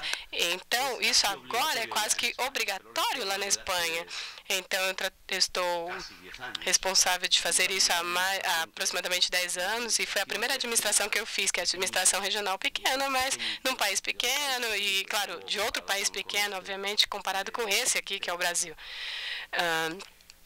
Bom, além disso, eu diria, não incentiva o comportamento responsável ao público. É, o governador do Mato Grosso, que acabou de, de sair, infelizmente, mas ele é o que, que eu quero me referir com isso? Esse efeito cultural que eu chamaria de psicológico, social ou sociopsicológico, que produz a corrupção.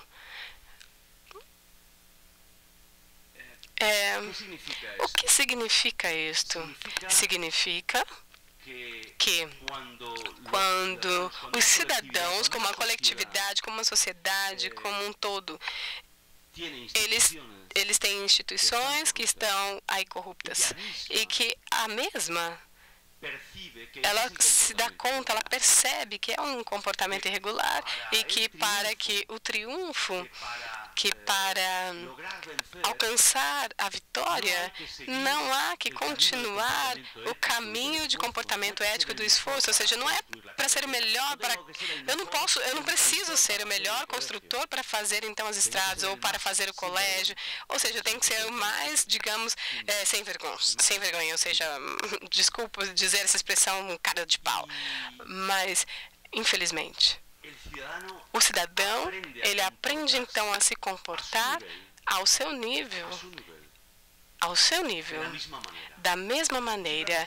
Então eu dizia sempre, ah, se nunca você fez algo de para prejudicar, a, digamos, a 15 milhões de euros, então você nunca pode ser corrompido com esses 15 milhões de euros e se toda a sua capacidade de decisão como administrador de um, de um condomínio, de uma propriedade, que é ter aí as cotas, as parcelas mensais dos, digamos, de toda essa comunidade, no lugar de colocar na conta dessas comunidades, não, você coloca na sua conta, pelo menos por um bom de tempo, por um determinado tempo para poder gerar determinados é, juros, não, ou mil euros ao ano, eu não sei dizer exatamente o valor, mais três mil, ou quatro mil reais, ou o que seja.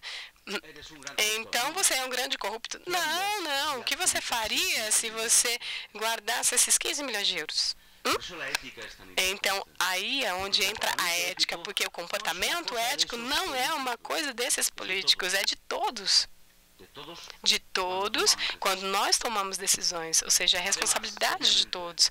Ah, bom, nesse sentido, o investimento internacional, que investe em determinado lugar, onde há, por exemplo, um custo adicional, o custo é normal de participação no mercado, então deteriora a marca do país. Mas eu digo, ah, sou uma pessoa que vem da Espanha e que agora eu vou dizer para vocês, ah, todos os dias, todos os dias eu vou lembrar vocês que nós temos casos de corrupção lá também, onde nós temos desde o mais importante ao mais evidente, ao mais elevado da responsabilidade públicas do nosso país, ao partido também que governa de maneira interessante, ou o partido que governou antes, pelo menos, a nível territorial, de maneira é, responsável, ou a comunidade autônoma mais próxima.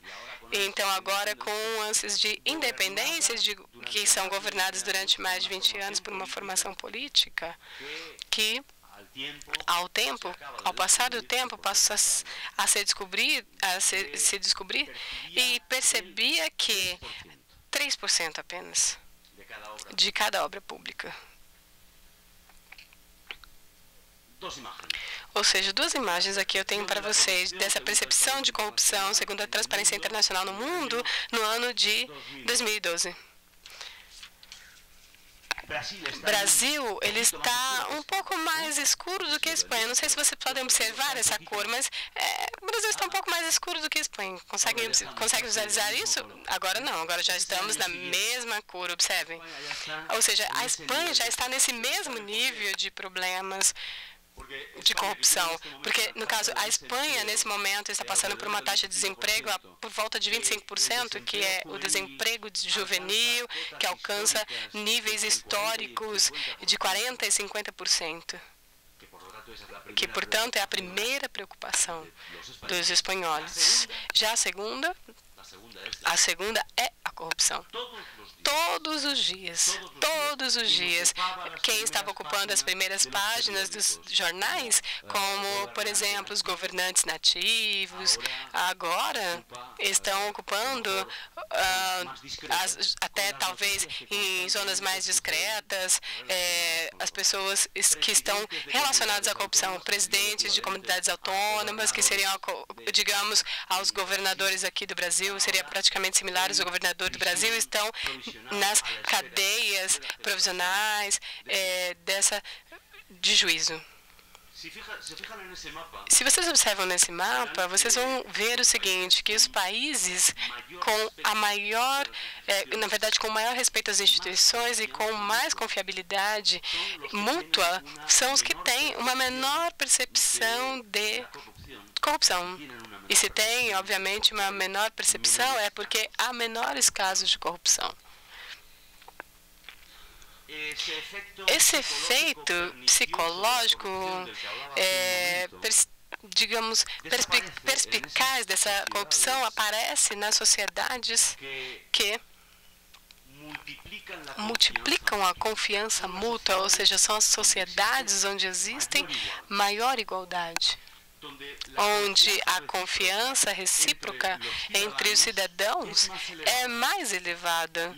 E também a confiança rumo às instituições públicas. É por isso as zonas que na Europa como eu posso dizer, que nós conhecemos com menos casos de corrupção são as sociedades mais igualitárias. E no Sul, onde a crise aumentou a distância, o gap, entre ricos e pobres.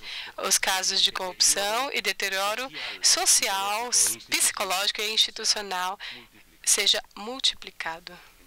Na Espanha, em 2013, abriram mais de 6 mil causas e 600 causas.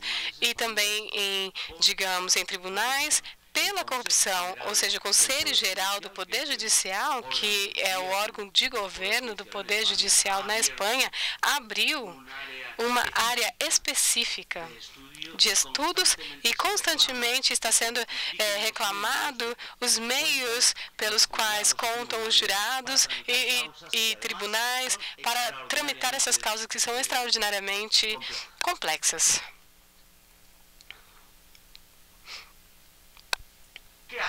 Então, o que há por trás da corrupção? Eu coloquei só alguns pontos, nada mais. Deteriorização institucionais. São instituições onde, como dizia aqui o governador, que é, não há gestão, que não há processos, que não há cultura de administração. Então, a instituição, as instituições, elas estão deterioradas, não estão funcionando de maneira eficaz. E também a financiação de partidos políticos, o financiamento desses partidos. Por quê? Porque, ao menos na Espanha, eu acredito que também fora dela, ao menos também nas, na Espanha, as causas maiores de corrupção, elas surgiram em algum momento a nível da, de financiamento dos partidos políticos e também das campanhas eleitorais, é, e também dos partidos políticos a necessidade de gastar mais em campanhas eleitorais, mais do que a lei permite, obviamente, as leis em Espanha, na Espanha, elas limitam os gastos nas eleições, nas campanhas, nas campanhas. E agora também na hora de fazer público porque custam fazer políticas partidárias, porque os partidos são a fábrica de ideias de quem podem ser amanhã o governador ou o governante que tenha capacidade de financiamento, e porque na Espanha nunca há nunca é abertamente é, tratado de maneira transparente, porque quando as leis de financiamento desses partidos políticos na Espanha, não se, não se pode acreditar que essas leis, como as demais, elas é, se transformam, são feitas pelos legisladores e também, obviamente, nas partes são pertence, é, pertencem aos partidos políticos. Não, essas leis que estão sendo pensadas de uma maneira real e de uma realidade existente, ou seja, tem que entrar nesses funcionamentos de partidos políticos. Então, em relação a essas estruturas políticas, elas fechadas, porque elas um dos males um dos males desses funcionamentos democráticos é que há partidos e muitos partidos que em lugares de premiar ou brilhar a capacidade eles premiam somente, beneficiam somente a parte é, da fidelidade do líder, a parte pessoal, debochos, como diziam os romanos, ou seja, que é como colocar em uma determinada lista. E não necessariamente os melhores são os que são é, alcançados a níveis públicos nesse sistema. E, finalmente, perdão, não, aqui atrás, é, os sistemas econômicos extrativos. É, tudo isso se pode ser resumido em, digamos, essa, essa desigualdade, esse deterioro de todas essas instituições, das públicas, também das imagens sociais. E, bom, eu não poderia finalizar Claro, eu acredito que em cinco minutos eu acho que consigo cumprir o tempo de maneira pontual, inglesa, é, sem, sem algumas propostas de soluções. Bom, um amigo meu, muito, muito especial, professor, consultor, ele utiliza muito essa primeira frase de Popper, que para mim é brilhante. Eu acho que não deveria deixá-la de trazer a um seminário desse nível de direito do Instituto Brasileirense de Direito Público, de um seminário de Direito Público e Administração Pública é, fortalezas, ou seja, nós temos que construí-las bem. Ou seja, as instituições não podem ser é, mostradas de maneira de qualquer maneira, não, mas nós temos que colocá-las de uma maneira com pessoas preparadas, pessoas que realmente funcionários públicos com a formação adequada e que tenham realmente garantida a posição com independência de quem seja quem decide politicamente. O mundo da política e o mundo da administração, ele tem e serve a finalidades legítimas as duas, e obviamente, mas são diferentes. A política, a política democrática, essa atividade nobre que é a que deve marcar realmente os fins. E também a administração, construir o caminho. A administração, ela deve dar a, a, que os seus funcionários estejam preparados e estejam garantidos de forma a, a, ter decisões que não entram dentro do marco jurídico, ou seja, não se pode decidir o que a Constituição proíbe, obviamente, primeiramente, e os caminhos é, que são é, esses fins que estão justificando os meios. Boas instituições, bem desenha, desenhadas, bem traçadas, bem ajustadas e bem formadas, como eu presumo, obviamente, que é como está estávamos falando com alguns de, desses professores hoje. É, vocês estão, obviamente, se formando aqui dentro deste instituto. É, esses estudantes e alguns que eu pude conversar. É, e se colocou uma frase da seguinte forma, que Luiz Brandex que é uma frase que antes alguém dizia anteriormente, que é transparência, ou seja, a luz do sol, é como o sol de Pernambuco, que como estava falando um dos nossos expositores hoje pela manhã, a luz do sol é a luz melhor para os desinfetantes. Ou seja, se vocês observam o que eu falo, se vocês estão vendo se vocês estão vendo o que eu estou fazendo, então nem sempre você tem que fazer o que, eu, o que está vendo. Ou seja, é a transparência. E a transparência dentro do marco é uma maneira diferente de entender a clássica relação entre governantes e governados. Uma transparência que se une ou se conecta a um dos apoios, eh, digamos, a dois pontos mais para formar, além da transparência, a participação e a colaboração. Ou, eh, ou seja, o que chamamos de Open Government, ou seja, governo aberto. É, então, o governo em formulação, que hoje, inclusive, estávamos tendo alguns exemplos desse controle de transparência, está possibilitado é, dessas nossas, nossas tecnologias. E, claro, nem tudo é tecnologia, mas eu sempre me lembro da minha mãe, claro. Como todo bom filho se lembra da mãe. Ó, eu lembro da minha mãe, da minha mãe quando eu trato de pensar em ter um smartphone, por exemplo. Eh, quando você passa dos 70, você sabe usar o smartphone, essa tecnologia, essa internet, ou seja, claro, francamente, não vai observar quanto custa um hospital, quanto vai, quanto vai custar a radiografia. Claro, nem tudo é tecnologia, mas dentro de 30 anos já se pode observar que sim, tudo será tecnologia. E aí nós temos que repensar os nossos atos. Duas coisas mais. Economias e sociedades e instituições inclusivas. Eu acredito que vocês conhecem agora há dois anos, se fez fortuna no conjunto das instituições acadêmicas do Ocidente de tudo e When Nations Fission, que é porque fracassam os países. É, essa é a ideia. Essa é a ideia. É, digamos, o um ensaio litigioso, é, bastante, digamos, uma coisa bastante densa, intensa e até grande, mas veio mostrar que nós não estamos condenados, nem nós do Brasil, nem nós da Espanha, a sermos países falidos, porque o que nós temos que fazer é promover a inclusão social, econômica e política. Ou seja, é dizer o seguinte, evitar a captura do que se chama captura de rendas para de, por determinados grupos, obviamente, e conseguir alcançar, obviamente, que todos sejam capazes de contribuir a melhor a melhoria comum. Essas instituições inclusivas, elas demonstram, ah, não somente nesse trabalho de Robinson, eh, mas também numa revisão inteira de mil anos de história e toda essa ordem, essas instituições inclusivas, elas provocam crescimento e não impedem o que eles chamam de destruição criativa, em, em alguns exemplos bastante sumamente curiosos. E eu termino já.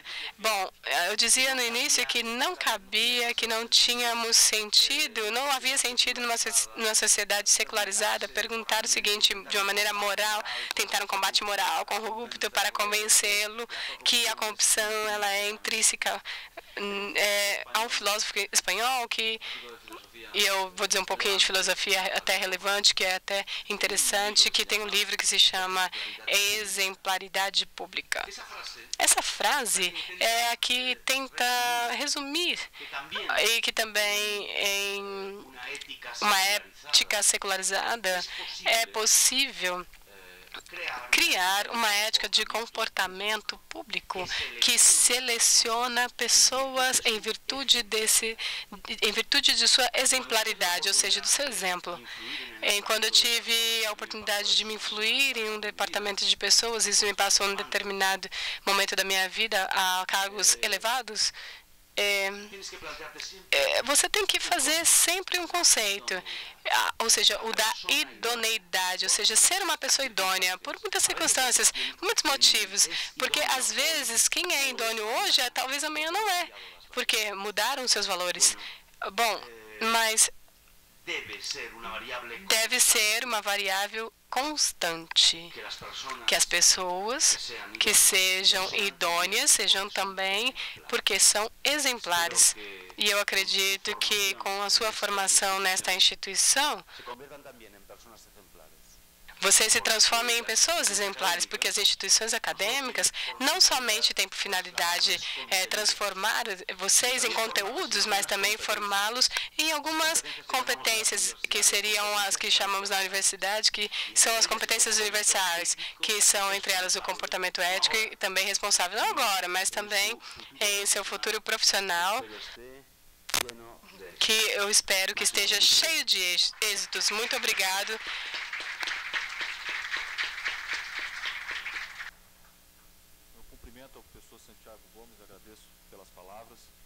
anuncio a presença na mesa do ministro Gilmar Mendes, professor do nosso instituto, e declaro então encerrados os nossos debates relativos ao último painel relacionado à corrupção. Peço aos nossos membros que prossigam na mesa e passo a palavra então ao condutor. Muito obrigado, senhoras e senhores. Nós procederemos agora à cerimônia de premiação do primeiro concurso de redação da Escola de Administração de Brasília.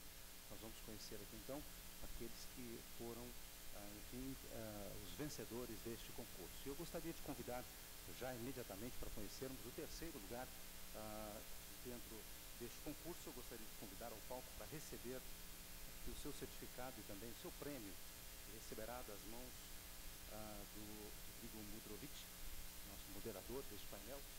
eu gostaria de convidar ao palco, por favor, é isso mesmo, a Bruna, Bruna Terroso Holmes. Por favor, Bruna, venha ao palco para receber o seu prêmio e também os aplausos uh, de todos nós.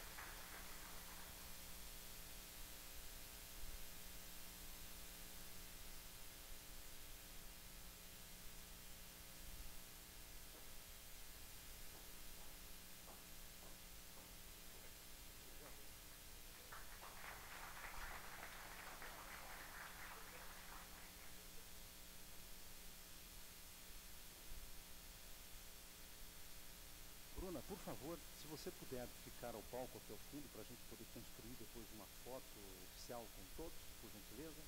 Obrigado.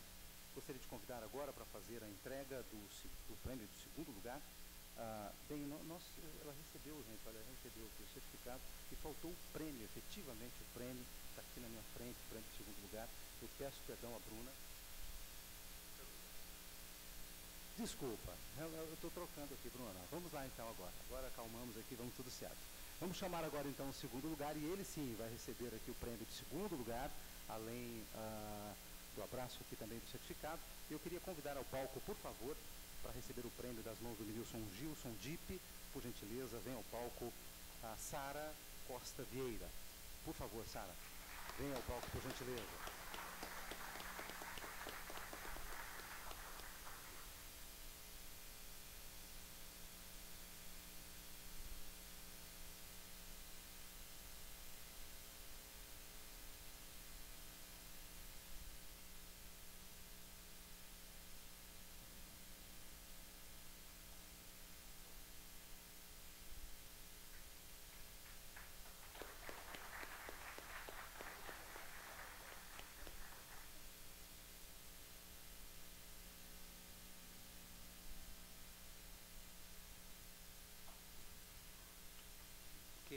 Passaremos agora, então, nós vamos conhecer agora o primeiro colocado ou primeira colocada ah, do primeiro concurso de redações e eu gostaria de convidar ao palco para receber o seu prêmio das mãos do ministro Gilmar Mendes.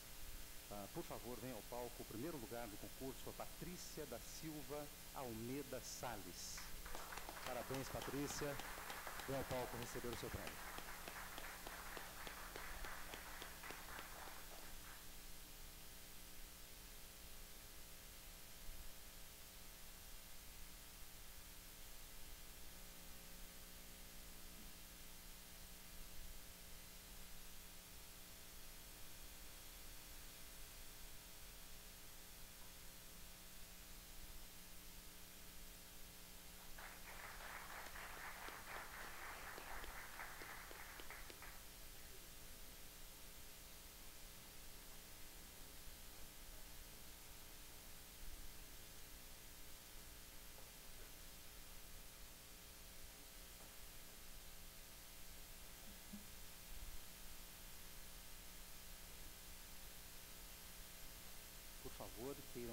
Aparecer no palco as três contempladas, para que a gente conheça agora as menções honrosas.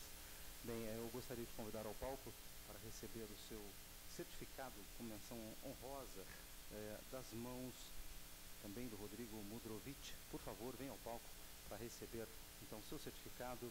Eduarda Porto da Silva, por gentileza, Eduarda Porto da Silva, vem receber o seu certificado.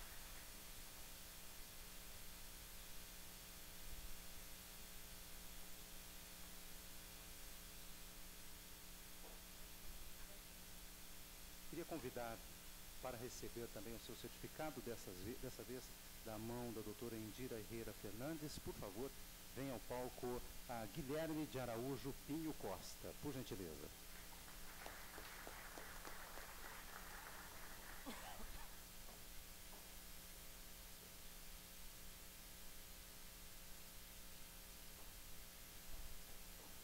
Gostaria de convidar agora também para receber o seu certificado das mãos do, do professor Santiago Roura Gomes, desta vez. Por favor, venha ao palco Vinícius Machado Cursino, por gentileza.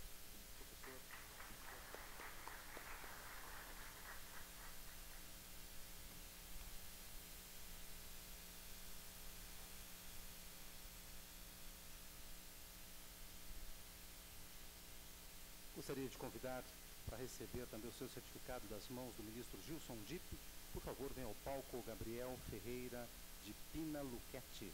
Por gentileza, Rafael, venha receber também o seu certificado.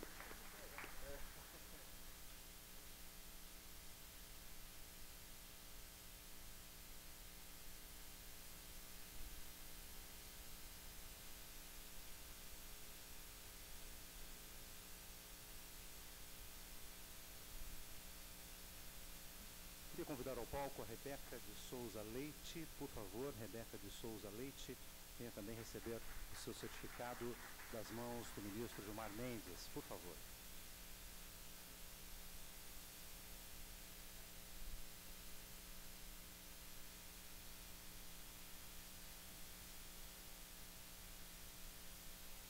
Gentileza, também vem ao palco receber o seu certificado Brenda de Almeida Duarte Franco, receberá seu certificado das mãos da doutora Indira Herrera Fernandes. Por favor.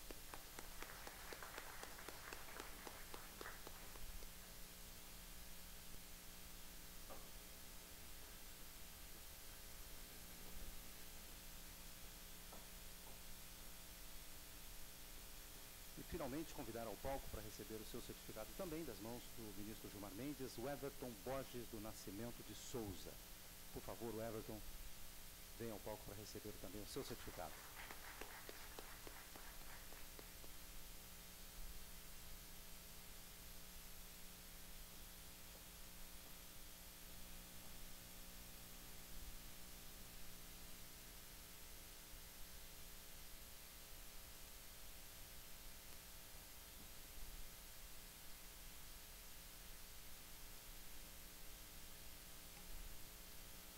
Podemos fazer uma, uma, talvez com os membros da mesa também, se posiciona atrás, pode ser? Erivelton?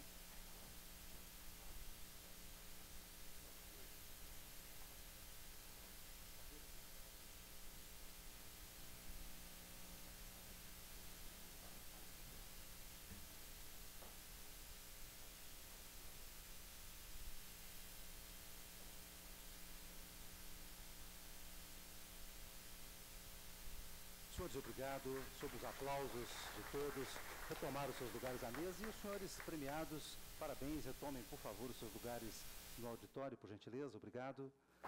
Obrigado. Nós passaremos a ouvir agora o senhor ministro Gilmar Mendes, ele que proferirá então as suas conclusões propositivas acerca do quinto seminário. Bem, boa tarde, já boa noite, caro professor Santiago, caro Gilson, Rodrigo, professor Indira, senhoras e senhores aqui presentes. É, é com grande alegria que nós, é, ao encerrar este quinto Seminário Internacional de Direito Administrativo e Administração Pública, podemos reconhecer o sucesso de sua realização. Sem dúvida nenhuma, hoje podemos dizê-lo com toda a franqueza e toda a abertura, foi o mais exitoso dos seminários que nós realizamos nesta seara. Veja que tivemos 700 inscritos e um interesse, uma participação é, magnífica, como agora mesmo tivemos nesta, neste painel, mas em todos os painéis desde ontem, já com a palestra elucidativa, é, agradável, brilhante, do vice-presidente, do presidente Michel Temer, em seguida é, dos painéis que se desenvolveram com a participação é, do Antoninho Trevisan, do, do, do Jorge Viana, senador, e do Armínio Fraga. E, em seguida, tivemos também outras elucidativas manifestações, quando Fernando Haddad e, e de todos que participaram daquele painel, a questão também da infraestrutura nos propiciou é, análises bastante interessantes e tivemos hoje essa tocante homenagem ao governador Eduardo Campos e depois tivemos também interessantes discussões sobre a questão do desenvolvimento regional, com a palestra bastante instigante deste batalhador Guilherme Afif, também do governador Flávio Dino, de, do Jorge Chediak. Depois tivemos ainda já, naquele intervalo praticamente do almoço, esse painel que é tema instigante, o professor Santiago falava da, uh, dos temas de repercussão na Espanha, onde aflora como um dos temas centrais a, a preocupação com a corrupção. Aqui no Brasil também nós temos uma preocupação central com essa temática, como pode ver das próprias manchetes dos jornais. Mas hoje, quando temos as pesquisas, as encuestas, nós sabemos que, ao lado praticamente da saúde, vem o tema da segurança pública. E nós vimos hoje é, dois gestores importantes três gestores importantes, porque o, o presidente do Tribunal de Justiça de São Paulo é, o, de fato, um gestor é, na área da, da justiça certamente maneja algo em torno de 30 milhões de processos, não é? Eh, alguma coisa deste tipo, considerando, então, eh, a potência que é, é o Estado de São Paulo e as obrigações, portanto, que compete a ele coordenar né, o trabalho de distribuição de justiça e a sua coordenação, a sua participação nesse trabalho. Mas vimos a exposição é, brilhante, elucidativa do governador Geraldo Alckmin e do governador Paulo Câmara, dois governadores de estados diversos, um do Centro-Sul e outro do Nordeste, mas focados num uma gestão profissional do tema da segurança pública. Posteriormente, tivemos a, discussão sobre o futuro da administração pública, planejamento, a contability, com o ministro da Defesa, com o ministro do Planejamento e com o governador Hollenberg. E agora tivemos esta parte final com o governador Pedro Tax, com Gilson professor Gilson Dipp, ministro Gilson Dipp, e com o professor Santiago. Estou certo, eu nem pude participar de todos os painéis, mas estou convencido de que, e naqueles que eu pude ouvir, e ouvi a maioria, eh, tenho a certeza de que nós tivemos aqui eh, manhãs e tardes magníficas, extremamente proveitosas, e acredito que foi extremamente proveitoso também para todos. Eu só ouço é, elogios, recomendações de que nós prossigamos neste trabalho. Estou certo de que isto se deveu é, já à seleção dos temas, e para isso gostaria é, de cumprimentar o Rafael, que se engajou fortemente nisso, também a organização que teve à frente a professora Dali e toda a sua equipe, de modo que eu gostaria de agradecer a todos e cumprimentar, dizendo até breve.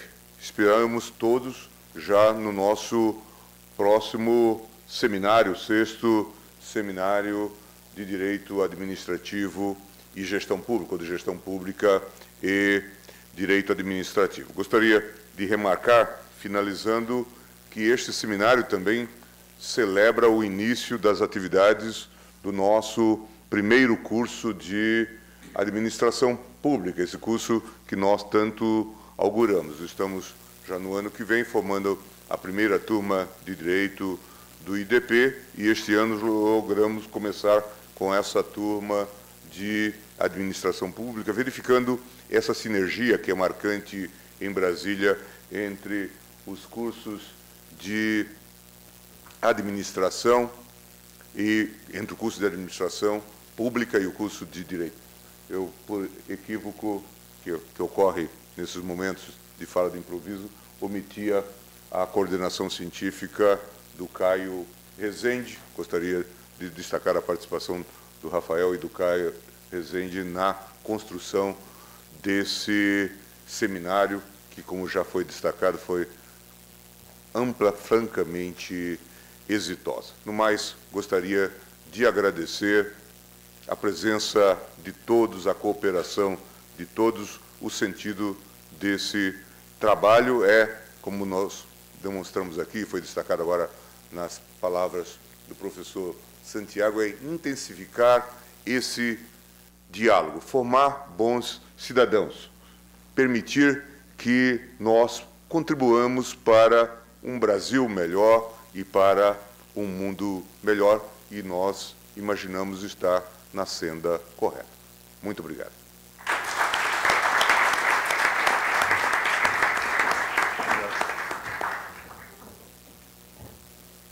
Estão encerrados os trabalhos do quinto Seminário Internacional. A todos um bom fim de tarde, uma boa noite e até o sexto seminário. Muito obrigado.